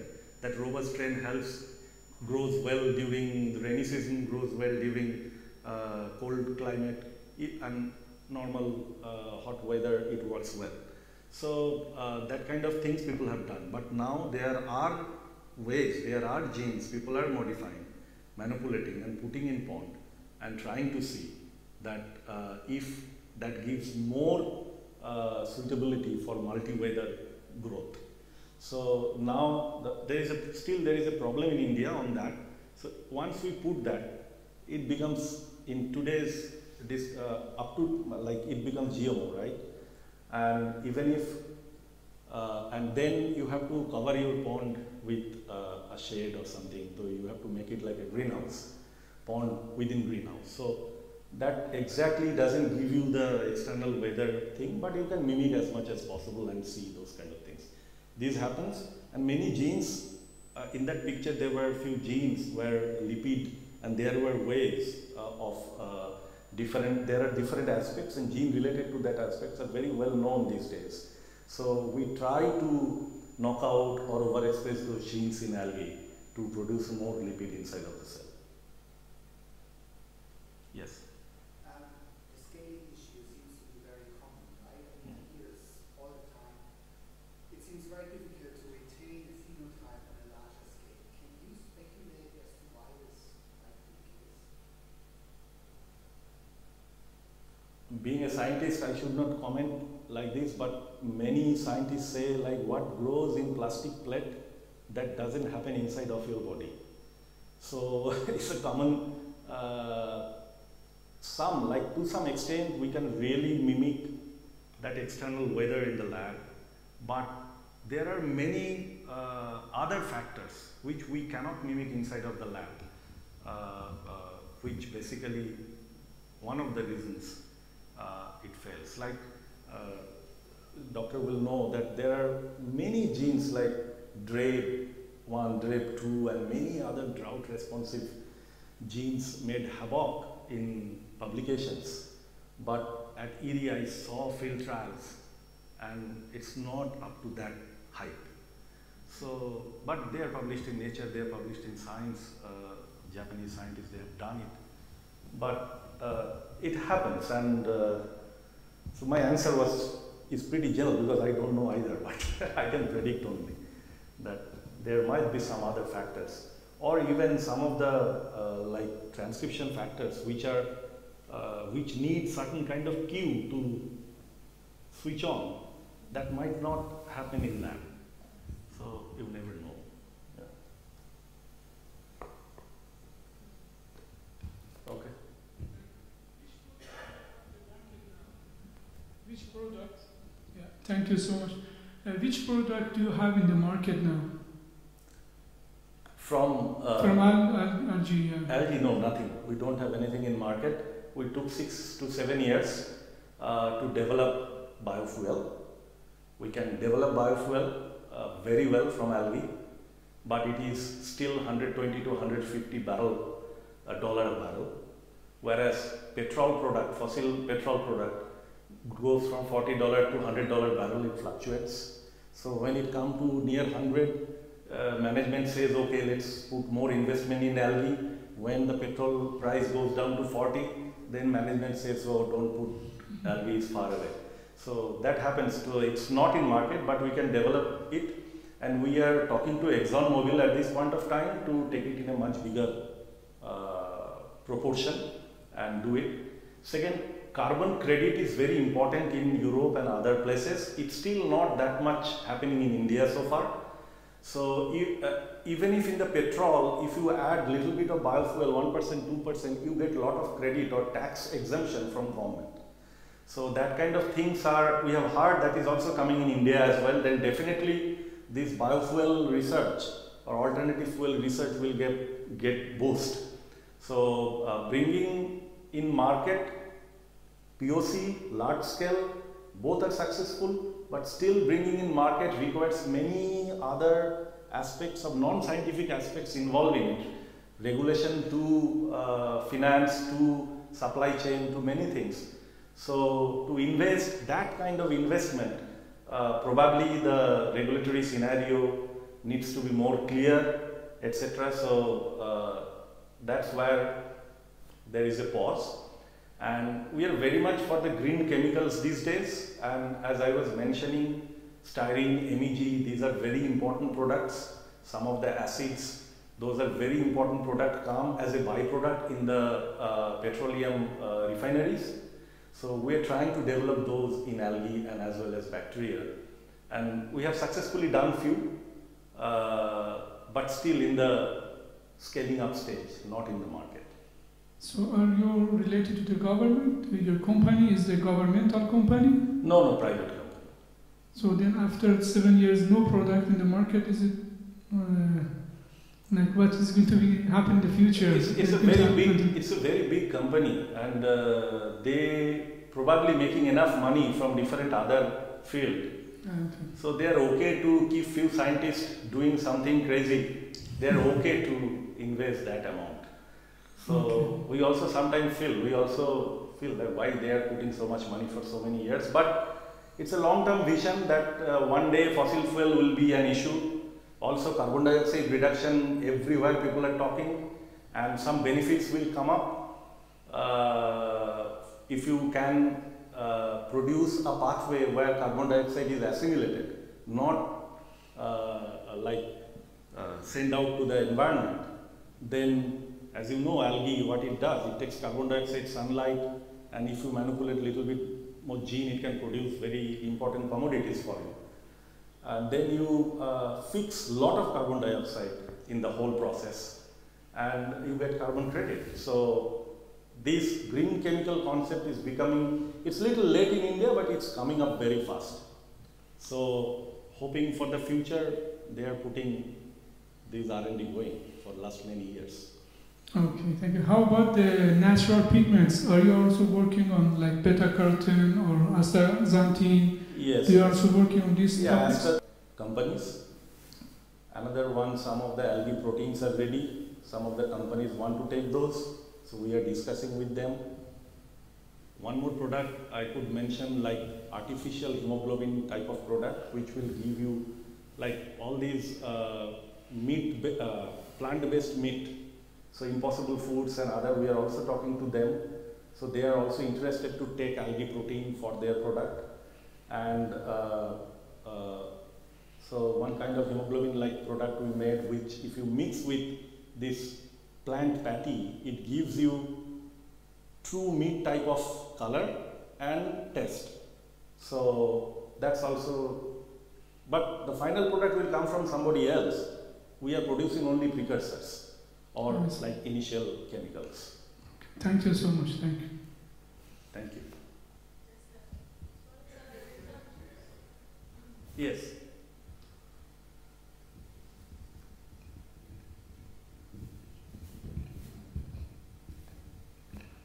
Uh, Hello, sir. Uh, First of all, this is very informative presentation you you delivered here.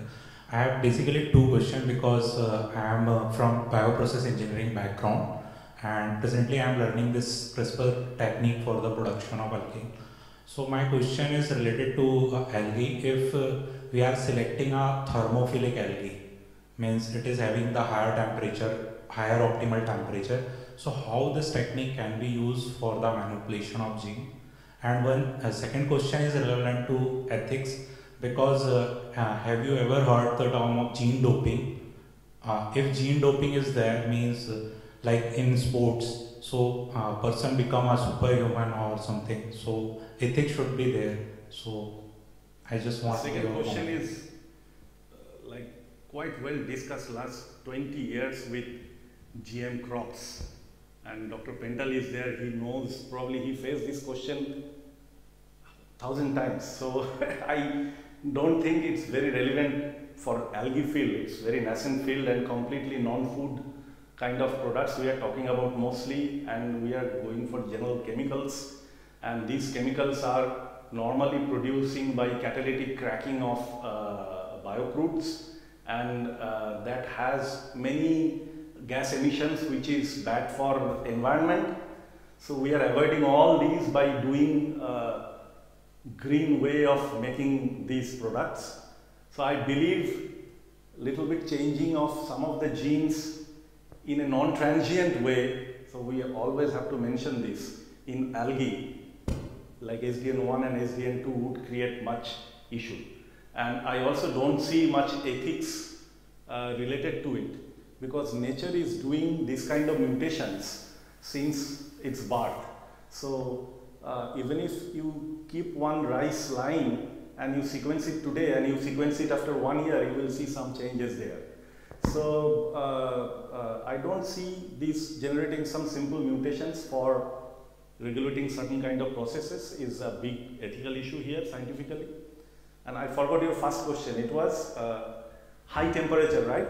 Uh, so, so for genome editing, uh, as Dr. Thomas was mentioning, 37, all these bacteria from where we are extracting these nucleases, Cas9, CPF, CPF1 little, what's little word, but Cas9, all these are 37, 38. So that temperature is in India it goes up to 40. If you talk about uh, if you talk about uh, uh, Indian summer, 40 uh, an open open pond, then 40, 45 it goes, and still these enzymes works. So high temperature variants apply it's will be easier for applying CRISPR-Cas9 with respect to the ones which require much lower temperature to grow.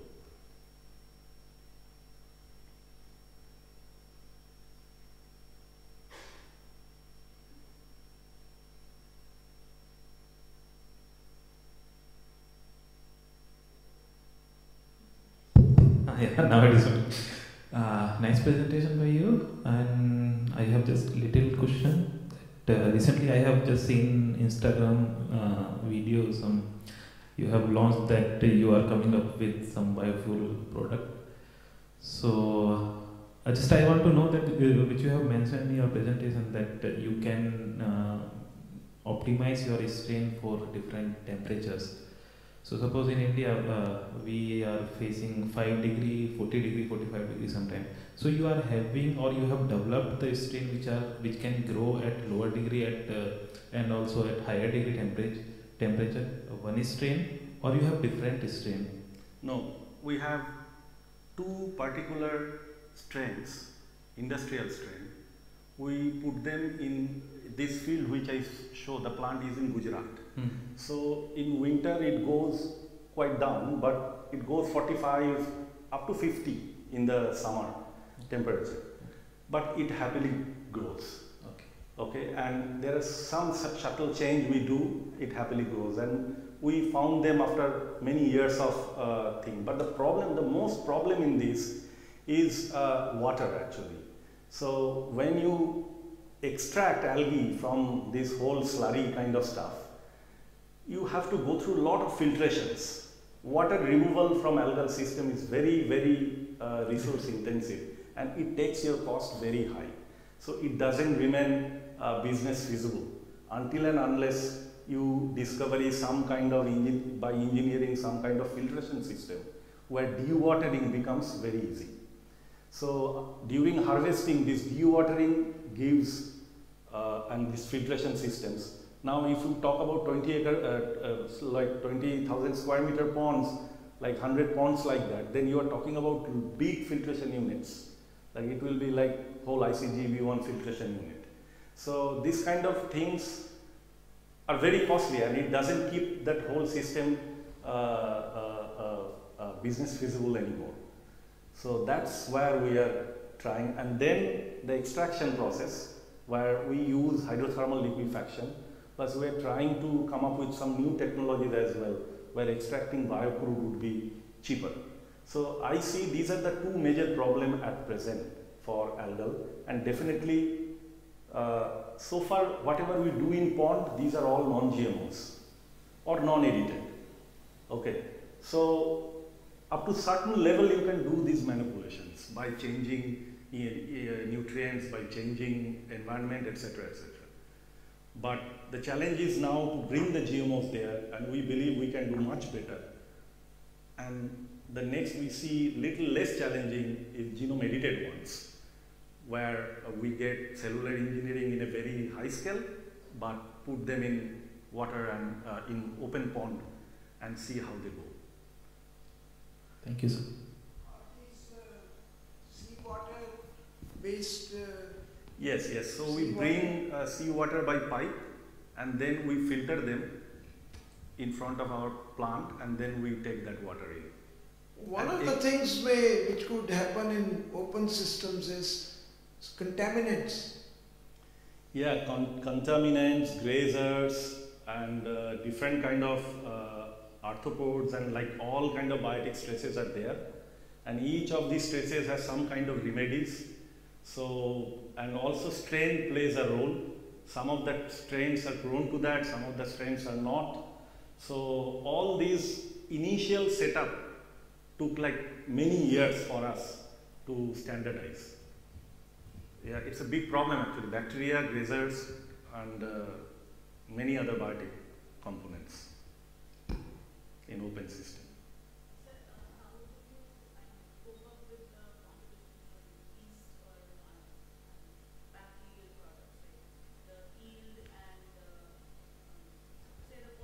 I, think, I think, I, I got it. So, but end of the day for bacterial product, yeast, etc., you have to go through fermentation.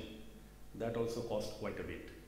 For us, we go for hydrothermal liquefaction. This is our own uh, proprietary RCAT HTL uh, technology, which we use for a long time and in an Indianized way, which gives us much cheaper uh, proposition. So that, that one part we see competition is not with bacteria field or Saccharomyces cerevisiae field. No, competition is there, that is with ourselves, our chemical people. First of all, all chemical engineers, they don't care biologists much and they think this bio process, this is very slow, it takes time, uh, any POC takes five years, seven years, something like that, where they bring up new chemistry within a year. So our competition is with them. So these fields are different way we can really be competitive with bacteria industry or with uh, yeast industry. But competing with chemical uh, process of manufacturing all this is very well established since long back and they are very fast. So our competition is with them, but carbon credit is with us. That is what all this speech I do to get our uh, funding done. yes.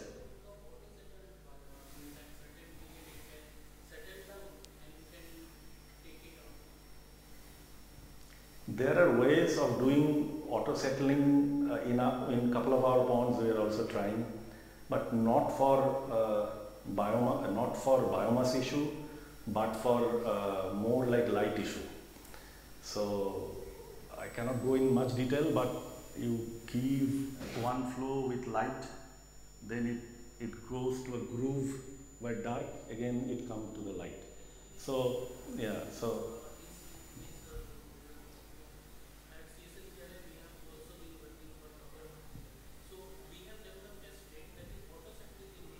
Hmm.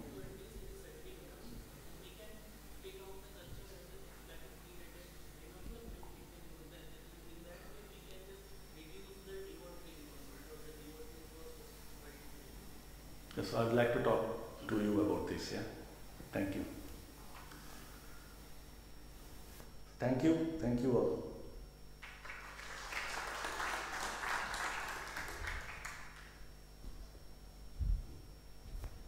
Thank you so much, uh, Dr. Bandyopadhyay. That was a very good mean, industry perspective and a real eye opener. So, uh, um, okay. this concludes uh, today's uh, talks and sessions. Oh, uh, sorry, I would also uh, now request uh, Dr. Jitendra Thakur to please present a memento to Professor Bandyopadhyay.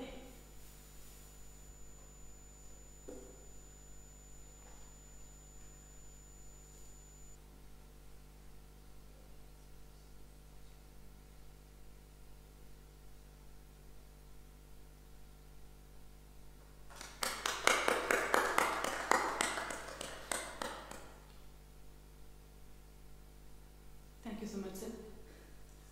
So, um, this concludes the session for today. I really uh, thank all our speakers, all the professors, all our guest faculties, and all the participants for being here and uh, making this uh, pretty. I think it's a very good session. I enjoyed it very much. Hope you enjoyed it too. And uh, this concludes the session for today. Uh, we will meet tomorrow 9:30. All the participants, uh, all the volunteers, and the speakers. And as of now, uh, it's raining outside, so we have preponed the dinner. Please join us at around 6:30 for the dinner. 6:45, and then you can walk around in the rain. It's a very good campus in the rain. Thank you so much.